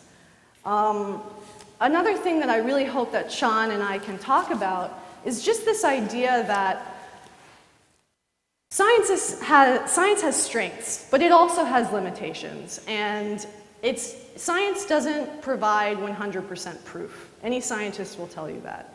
It, provides, it can provide overwhelming evidence for, in the case of vaccines or, or uh, climate change, for example, but it won't, cause, it won't provide proof. So Politicians uh, over time have picked up on that limitation of science, that there will always be at least a little bit of uncertainty. Um, and they, they use, at least in my observation of working at factcheck.org, they use that uncertainty to say, well, we're not 100% sure about climate change, so we don't need to act on it. Um, and I, my job, my main uh, prerogative at FactCheck is really just to say, all right, I'm not going to say science is a golden ticket to all of our problems. I'm going to say here's its strengths and here's its limitations. And the public and politicians can decide on the policy. So that's, I'll, I'll conclude on that point. Um, but we're a nonpartisan organization. We like providing information, but we really want to leave it up to you to, to make the decision on what you believe. Thank you very much. Which brings me to actually the, the last question we had talked about when we talked earlier. It, and it's the fact that when people are presented with fact and truth, sometimes they can't, they can't accept it. Like, have you looked at that phenomenon? Like, whether you can, you can tell them, you can show them, you can fact check a story and tell them, look, this is not it. They still can't see it. It seems like they're attracted to this right. kind of. Well, one problem uh, with that, which is something we talked about earlier too, is that uh, I hope that it's changing. I feel that it's changing. Um, that the process of science has not been communicated in, by science journalists very much. And I, I, try in my articles to communicate not this is what scientists found, but this is also how they found it, and this is why it's it's a valid uh, argument. Um, so I think that perhaps if you can communicate to the public how scientists actually came to a certain conclusion, what is their argument for a certain uh, finding, that might help people instead of just laying a fact on them. You know? Right, to, sh to show the traverse of science, mm -hmm. to show that science doesn't have the answers to everything. Right. In that sense, is it really a war on science or a war on facts, war on people. Yeah, no, I think that, that that's, I completely support that and, and write about that in the book. Um, and when I, I frequently speak to uh, educators, um, and that's one of the things that I talk about. It's becoming increasingly difficult in the United States because one of the things that politicians love to monkey in is education. And particularly in setting standards and accountability because it makes them look good. Uh, but the best science education is really an emphasis on curiosity and on process, on breaking it down and showing the how-to. uh, rather than what, what the end result is. And so if, to the extent that you can do that, then you're all of a sudden you're telling a narrative, and the narrative is how we figured this out. And once you tell a narrative and you show how we figure this out, then people can see it and come to their own conclusions based on that evidence. Um, most people who fall victim to disinformation are also basing their conclusions on evidence. It's just that the pieces of evidence that they're getting are uh, from different sources and from sources often with vested interests. So if science communicators aren't breaking it down and communicating the how-to, we're depriving the public of that knowledge that they need in order to make good decisions in self-governance. Right, and then, uh, you know, I can't help but preach for my own uh, background in science journalism. I think it is key to this. But in an environment where there's digital, where stories travel super fast, and false news travels super fast. Is there a way to, to stop a, an engine of falsehood in this environment? I mean, you're part of the, the solution, but it's, there's still tons of other in that sphere that do disinformation. Is there? To stop, I mean, uh, other than shutting down the internet, I'm, not, I'm not really sure. I mean, I think you made a really good point about instilling scientific cur curiosity. So a researcher that we talked about earlier, his name's Dan Kahan, and he's doing research right now that's really enlightening. He looks at uh, what happens when you give people scientific information and what happens, and he also looked at that in parallel to, uh, he tried to quantify scientific curiosity. And really what prevents a person from falling for that false information is not how much information they actually have, so you can throw as many studies about climate change at them, mm -hmm. but it's actually the level of scientific curiosity that they have mm -hmm. Um, to figure it out. Well, how are scientists doing this? Mm -hmm. um, That's interesting. I, I, think that also another way to, to circle back on that, to help prevent it, is again, for journalists and for the Society of Professional Journalists, there, there's actually kind of a big discussion that's broken out now again since uh, the last election um, that is exploring this question of what is journalistic responsibility in these issues where there is objective knowledge uh, and should they be communicating that and holding politicians accountable to that. Some journalists think that that's a very racy topic uh, because then they're, they're participating uh, as an actor and they think that they lose their, uh, their objectivity uh, as a journalist in that way. Right, it's, but it's also dangerous. I mean, you, may, you might want to share your story on how you came to decide to write War on Science. Oh, well, as I began writing about a lot of these issues, I, you know, I personally, and I know several scientists where this has happened to too, just was subject to unbelievably vitriolic attacks. And I know several scientists who, you know, frequently get, you know, dead cats or flaming bags of, you know what, dropped at their door or death threats by uh, electronic communication or in the mail. So there is a very, um, there's a very concerted effort to intimidate people, uh, certain people anyway, who talk about issues that vested interests don't really want them discussing. Hmm. Yeah. So, but I think back to the bigger question of how do we turn this around? I think that there are two there are two strategies that are important. One is what SciCheck and FactCheck do, kind of the fact checking of stuff that's already out there. The other is to really help uh, promote this discussion of of what is the real appropriate role of journalism when there is a factual knowledge-based bit of evidence um, in a politically contentious discussion. And I think that that's the role where science journalists uh, can play such a critical, important addition to the discussion on our political pages, which is a place that they've traditionally been banned from. But I think that in this day and age, we really need science journalists to have a, a voice in that process. Well, that's uh, something that pleases me to, uh, to hear, of course. But can we hope to uh, can we hope to work together with the scientists? You know, when the scientists also feel that they're either muzzled or they're not free to talk, is there a way that we can, uh, that, that's also part of the, the war on science, right? The freedom to, to speak, the freedom to Uh, well, that, I mean, that's, we were talking about that earlier. I mean, that's certainly not the case with university scientists, at least in the United States. Um, on occasion, I will say, though, that I have emailed professors asking for their comment on certain articles, and they make the choice to not comment on it because they don't want to risk losing funding. And I don't know if that's muzzling them. I mean, it seems like they're making that choice on their own to not be outspoken. Um, but when you're talking about muzzling, though, that would certainly happen. I mean, I can never speak directly with EPA scientists, which we talked about. And you said that that was something that was also going on in Canada. Oh, a few years ago. I, well, hopefully now things have changed, yeah. but there was a period in Canada where scientists couldn't, government scientists could not talk yeah. directly to uh, to journalists, and they, you know, especially those involved in toxicology, and these these uh, programs are now starting again. But uh, it's, I mean, it's difficult when you want to convey a message of that could potentially create a health crisis, or you, you have to be careful, mm-hmm. of course.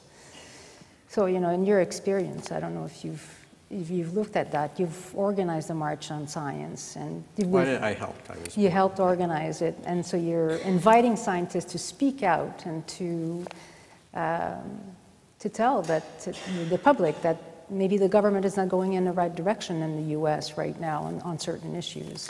Well, part of the idea of the March for Science, part, well, partly it was yes, the, the proposed cuts, particularly to major government science agencies, which produce the evidence that the government relies on to make nonpartisan, balanced policy decisions. Uh, that also helps inform the public. Um, so it was partly a funding issue, but it was also an issue of a kind of a perceived um, change in our public dialogue where uh, scientists were actually being attacked, as they have been, by certain vested interests, um, particularly mostly in, in various commodities industries, um, where uh, certain evidence is suggesting uh, that regulation is appropriate and businesses don't like that. Um, so I, th I think that the big motivation was not just a, a, a liberal motivation against uh, what the Trump administration was doing. I think it's been really growing for some time, and I should point out that there are those on the left who have their own issues with anti-science, as it's sometimes called. Um, on the left, it tends more to be about unfounded suspicions of hidden dangers to health or the environment. Uh, th things like the idea that cell phones may cause brain cancer or that type of thing uh, that are not supported by the evidence. Uh, and on the right, it tends more to be uh, anti-regulatory or against uh, what science is saying about reproduction or gender or sexuality. One, one thing that I, it's sort of tangential. Um, you know, when we're talking about science funding, uh, there are definitely certain organizations, or I'm sorry, uh, agencies within the United States that are getting cut. But when I saw, just as a personal anecdote, when I saw Trump saying he was going to cut the NIH budget, um, I didn't, I didn't think that it would pass through Congress. And that's, I'm not, I'm not saying the U.S. political system is perfect, but uh, the fact that, I, you know, funding the NIH is a non, or is a bipartisan thing. Mm -hmm. And the fact that Trump proposed that and then Congress said, no, we're actually going to give them a $2 billion surplus, mm-hmm. uh, you know, in extra funding, I think is telling. That there is a limitation on how much the executive branch can do. Yeah. I'm sorry, I have to stop it here. I feel we could actually uh, create a whole course and continue the discussion. So it's so important, you know, when you're talking about the foundation of a society and democracy and existentialist crisis. It's scary to think that, you know, false news and, but then, you know, there's a positive side to, the, to that, the fact that some of us are trying to streamline the message to the public in the right way. And maybe, maybe one of these ways are using humor. So yeah. I'd like to thank you both for coming on stage and invite our next guest to discuss. Thank you, Shawn. Vanessa. Yeah, science and uh, our discussions have been pretty serious, uh, but some, some guys, some they find that science is actually funny. And uh, I'd like to invite our next uh, guest. There are two guys who have no background, but they fascination and a curiosity for science facts. Alors, j'aimerais inviter tout d'abord Patrick Baud, qui nous vient d'Avignon. I'd like to welcome uh, first uh, Patrick Baud from Avignon, France. Patrick has launched a YouTube channel that's uh, called Axolot that uh, has uh, thousands of viewers, and we'll hear a few words to understand why it is so popular. Good afternoon. My name is Patrick, and I like to be surprised. My job is uh, to collect uh, interesting things. I started uh, on the radio in the early 2000s. I started a blog in 2009 called Axolot. It then became a book, a YouTube channel in 2013, and finally a comic book in uh, 2014 through all of this work, I like to show how our surroundings can be a source of fascination beyond fiction. Be it through uh, historical events, through outstanding uh, locations on Earth, or science. I'd like to point out from the onset that I'm not a scientist, but I, I'm a pathological, curious guy. I try to share the nuggets I find and the mass of scientific information, to share this with people that follow me. And I believe that real scientists, researchers, and specialists don't always know what uh, fragment uh, they should use uh, to attract uh, the attention of the public. Therefore, I believe uh, it is important uh, that people act at um, uh, making science more accessible to lay people.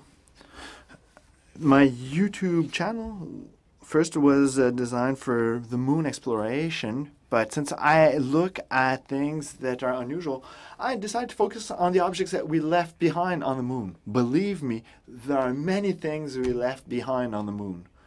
And if you ask uh, people on the street, what do you think you would find on the moon?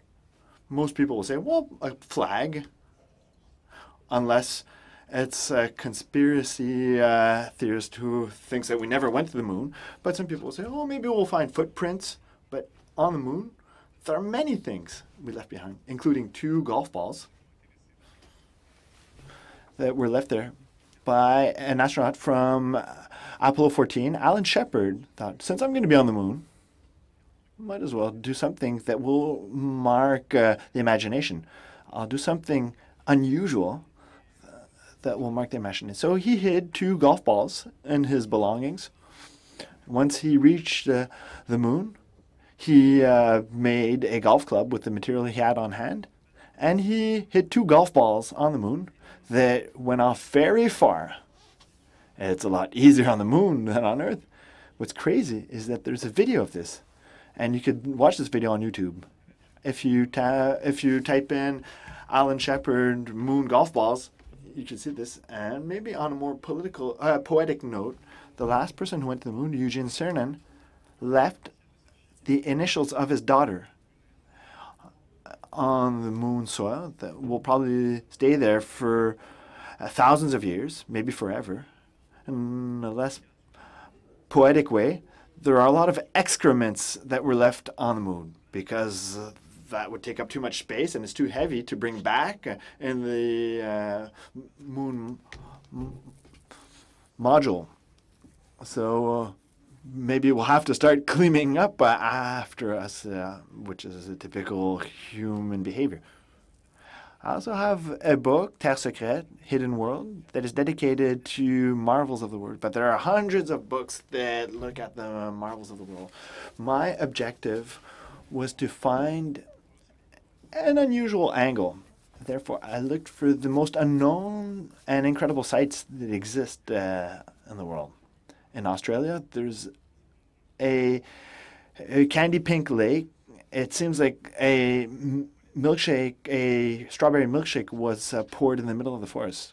A lot of people think that it has been photoshopped, but this color comes from the bacteria and algae that we find in the lake. So uh, it's really unbelievable. In Mexico, there's a cavern that is filled with giant crystals. It was discovered by chance by miners that were um, drilling for minerals, and they came uh, by chance on this cavern. They found minerals, uh, crystals that are about 40 tons. Uh, for geeks here, I don't know if you could imagine uh, Superman's uh, fortress. And the pictures are astonishing. There are pictures from National Geographic uh, of the uh, crystals, and the scientists are tiny beside uh, these crystals. They wear special suits because the atmospheric uh, conditions in the cavern uh, would not cannot you cannot live in this condition because the humidity is uh, too strong there. You, visit, tourists cannot visit this cavern, but that's part of these incredible things we can find on Earth that go that go beyond fiction. Astonishment are the hidden mechanisms of mankind.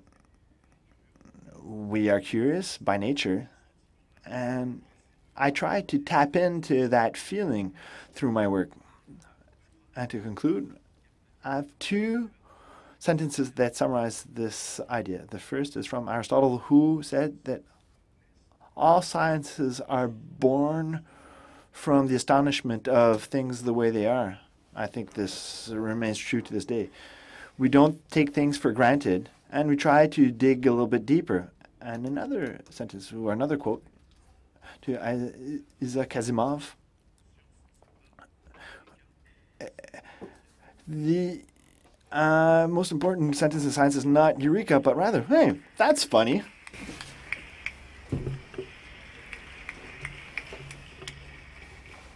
Next guest is from the US. He's from North Carolina, and he also finds that science is pretty funny. He's actually a comedian.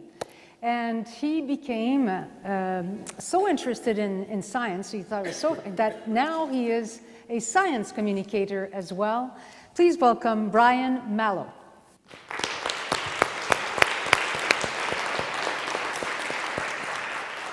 Hello, uh, let me just settle in for a second. I'm a little self-conscious of my posture usually when I first get on stage, and I think it's because my mother used to tell me to stand up straight. Did you ever get that from your mother? Stand up straight? That's such a universal thing. I think mothers have been telling their kids to stand up straight for longer than we realize. Perhaps even to pre-human days. What if that were the driving force behind the evolutionary trend to walk erect? mothers nagging their children up the evolutionary ladder. Yeah. Stand up straight. Don't drag your knuckles when you walk. What are you, born in a tree? All right, I'm a comedian, and maybe I should have said that a couple times up front to make it clear. Um, it's the best job I've ever had, but it's not the only job I've ever had. I used to be an astronomer, but I got stuck on the day shift, which sucks. You don't discover anything good overwhelming response to the comedy so far. maybe you weren't expecting it, or maybe it's the translation. I'm not really sure. But uh, let me always, that's what I'm always going to blame it on. It's the translation. It's, you don't get my sense of humor. Or I'm, I'm, I'm talking too fast for the translator, probably. Is that it? Right.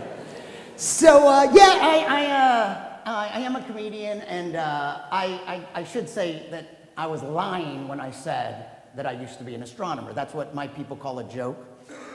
my people being comedians, or Jews, if that's not redundant. Um, I'm not a scientist and I'm not a doctor, although I play one in the broken dreams of my parents. Thanks. There, you laugh. That was not a joke. I was opening up to you and you laugh. That's great. So uh, I have always looked at the world, though. I did go to a magnet school for bipolar students. Yeah. I wonder how the French translator can do with a pun. That's always uh, challenging. But uh, I have always looked at the world through kind of a uh, a scientific worldview. I, I, grew up reading science and science fiction. Isaac Asimov and Arthur C. Clarke were big influences, as, as well as George Carlin and Richard Pryor. Uh, but I've always had this sort of science worldview, very rational. Like I noticed a long time ago, whenever my mom would lose weight, my dad would gain weight. And when my dad lost weight, my mom gained weight. It was like the conservation of mass within our family. And I had a theory that you never actually lose weight, you just give it to somebody else. Fat can be neither created nor destroyed. It's one of the basic laws of the universe. So uh, I am a comedian, but I also identify, as uh, Veronique said, as a science communicator. And honestly, I don't even think they're that different. Science, I've loved science for longer than I, I, I realized I might go into comedy. And they're not even that different. That quotation from Isaac Asimov, uh, I really resonate with that uh, the most exciting phrase to hear in science the one that heralds new discoveries is not eureka, but that's funny. That's how comedy starts too, an observation, and it's like, what can I do with it? There's something funny. Can I learn to communicate that? Like, I see something, can I communicate the idea to everybody else?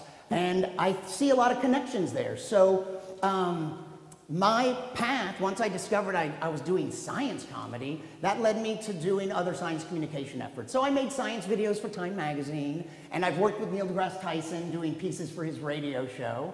And then ultimately, I took a job at a science museum, and I worked for four years in science communications. And mostly I hosted talks by scientists, and I interviewed scientists, and I tried to be a bridge between the scientists and the public. Again, much like what Patrick was talking about, um, trying to get this uh, across what's so cool about what they do. I don't feel pressure to always make it funny. And one of my favorite bits of advice has become this story I heard from Richard Feynman, the late great American physicist, Nobel Prize winning physicist. He said that his father used to read to him from the encyclopedia. He would sit him on his lap, I think he was a child at the time, and he'd sit him on his lap and he would read about dinosaurs, for instance. And when he got to a fact, like this dinosaur attained a length of so many feet, he would stop and he'd say, You know what that means? That means if this dinosaur was sitting in our front yard and you looked out the window of your second floor bedroom, you would be looking him right in the eye. He took the bare facts and he translated them into what they really mean. And I resonated with that like an analogy I haven't come up with yet. Um, it just really hit me. It's like, I'm not a scientist, but that's, I think that's what I do, whether I'm explaining science or comedy. For instance, uh, the International Space Station orbits the Earth at 17,500 miles an hour.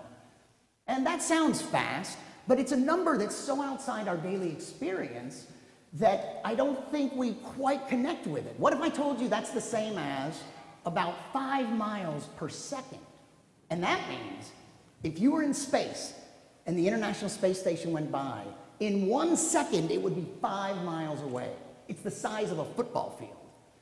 That's what 17,500 miles per hour really doesn't convey at all, right? Or Pangea, right? Today we have seven separate continents, but a couple hundred million years ago, we had one unified landmass called Pangea. Well, that means international travel was really easy. Do you want to go to Australia? It's right over here. Do you want to go to England? Right over there. Couldn't be easier. And really, my favorite example comes from something I learned working at a science museum.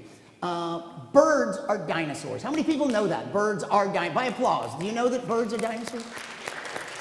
Let me ask you, how many people did not know that? Birds are dinosaurs. Literally, birds are dinosaurs. Good. Hopefully some, but when I was growing up, I think we heard they were related to dinosaurs or descended from dinosaurs. But today, birds are categorized taxonomically as avian theropod dinosaurs. And they are the one group of dinosaurs that survived the mass extinction 65 million years ago.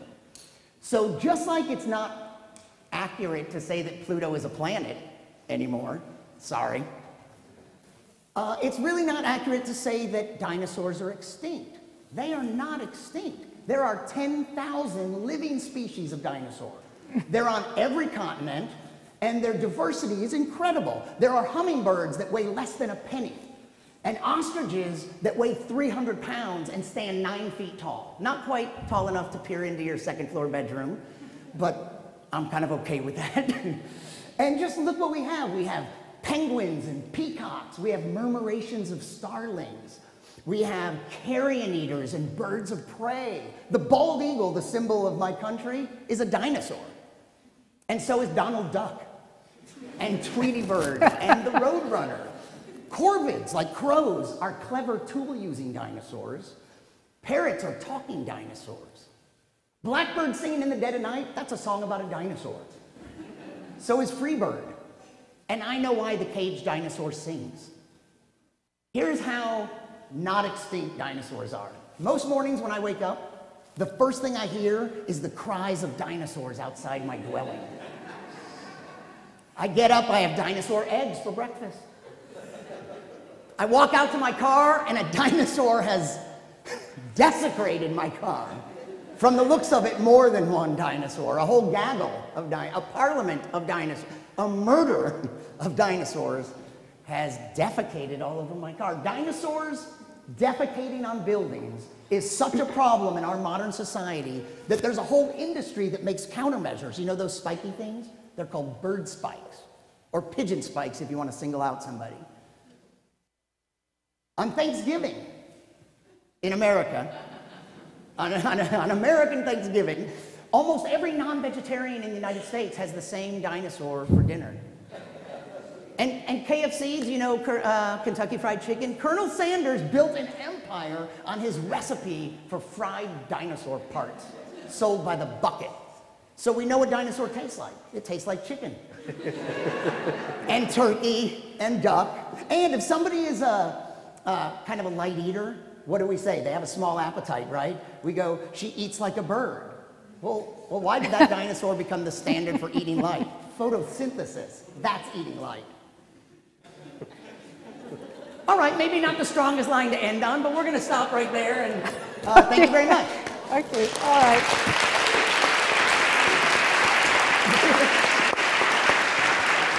wow. So where where do you both find your ideas? I mean, um, you have a eureka moment when you see yes, something. So, do I speak in English or in oh, French? Do you speak in English? Ça sera bien en français. Ça sera mieux en français. Ouais. Euh, It will be better in French. All sources are good.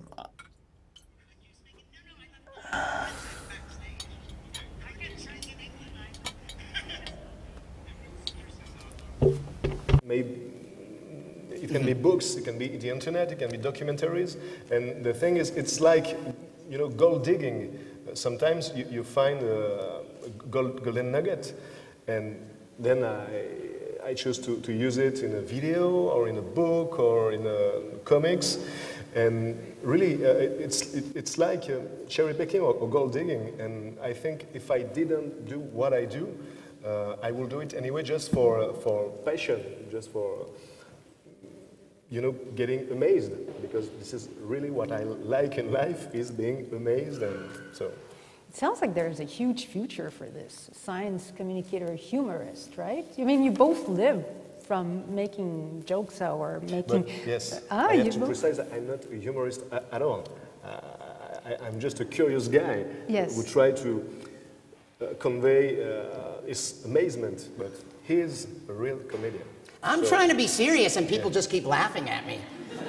no, but I think that's a good point, and that's part of. Uh, so I do spend a lot of time talking now to scientists and- about how to communicate to general audiences. And I do not want to tell scientists to try to be comedians, but I do tell them to try to be themselves. Your best chance of being humorous on stage and your best chance of connecting with an audience is to be relaxed, prepared enough that you're not repeating a, a memorized script. You're in the moment and you're trying to be yourself and you try to reveal some humanity and some personality, which scientists are often sort of that's shunned a little bit because if you're at a conference communicating your research to your peers, you're not expected to to inject personality. But if you're talking to other humans, it's a good idea.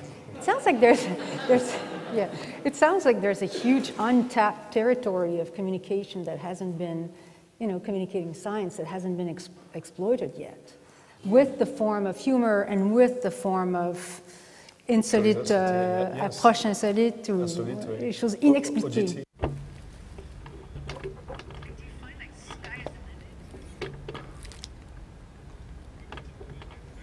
Uh, the fact that real scientists don't always know what kind of um, fact, what bits can get the general public interested in science. And so this is our job. Uh, we, we go through uh, a lot of scientific information, and then sometimes we, we find one nugget and we say, okay, this will get everyone interested. And so we simplify the, the, the stuff. And I think people who, do this simplification have an important place in society because there is scientists, there is general public, but we have to, to have a medium between, between the two. So, mm. Yeah, I've had a scientist tell me a lot of scientists are professors and they teach classes, and they teach more than just their specialization. And I've heard this, this might be called the expert blind spot. That in some ways, I've had a, a professor tell me that it was easier for him to teach the subjects that he's not the specialist in. Because the, the area he's a specialist in, he knows so much about it, he doesn't know what to leave in and leave out. But the other areas, he doesn't know as much, so he just teaches everything he knows about it, essentially. and that is Ah, the thing. Scientists can know so much. And how, and this is what we were talking about, how do you decide what to leave in and leave out? And I'll tell you one thing if you're talking to the public, leave out the Latin names of the species. No one wants to hear them. No one, is that really even what you want them to learn? Do you want them to walk away knowing the Latin name of that species? Yeah. No, and when you speak Exactly. Latin, their eyes roll back into their heads and they forget everything. Yeah, but isn't, don't you run the, the, the risk of uh, saying things that are not uh, factual? That, I mean, you check your facts. I, okay, so I am all for accuracy, and uh, I would, yeah, I, I want you to communicate accurately, and I want to communicate accurately. It's just the amount of it, the level of detail, and the choice of details. Um, it's really hard. I don't know how you teach it to someone, but when we hear something, we hear all these things, and then we go, ah, that is really compelling to me, the non-scientist. And I think other non-scientists will find that compelling. But I don't, I don't, I definitely want to be accurate, and I don't like the phrase dumbing it down. Mais si vous tombez sur une information, if you get an information that is super important, that you realize that this, you know, people have to know, and it, it gets serious. What do you do with that? You know, do you make a comedy out of something really Serious. Where, yeah, so like I don't know, like uh, an infectious disease or something that could have an impact on humanity. Okay, so personally, this is not my field. If I learn about infectious disease, maybe I won't talk about it. What is But, your field? Uh, golf balls and waste no. on. Uh, I don't know. Uh, you, you- you said uh, that scientists are overwhelmed by facts and they don't always know how to choose the right one to get people interested. And let's take spiders, for example. In, at school, you will learn the names, Latin names of spiders, name of uh, every body part of the spider. But what if Apis lacris, qui est une abeille laborieuse, Voilà. par exemple.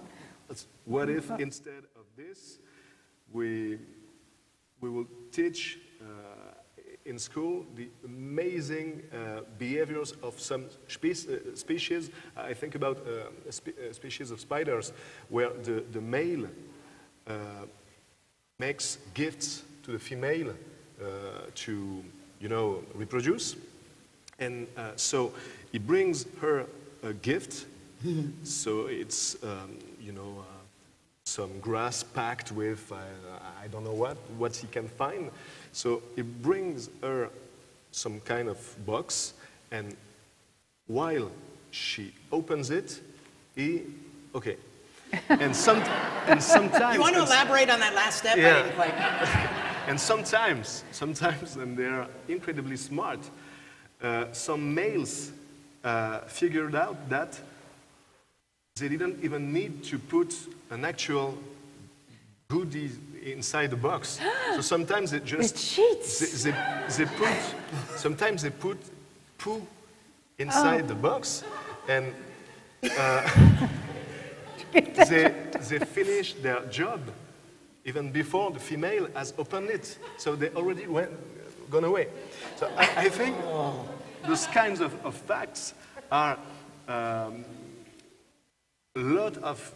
Uh, uh, Bound to make the front page of science newspapers or journals. very, very much interesting than learning the Latin names of species. So Right, I think or we, even we the need, parts of the body, the thorax Yeah. and all that. It's So like, that's we- not as interesting as that. I, I think we, we, we- we need both, but our job is to light the, the little, uh, you know, uh, s- spark, and then the real teachers and the real scientists take uh, the relay. The relay, they relay the the- information. The, the, the relay, yes, but I think it's complementary.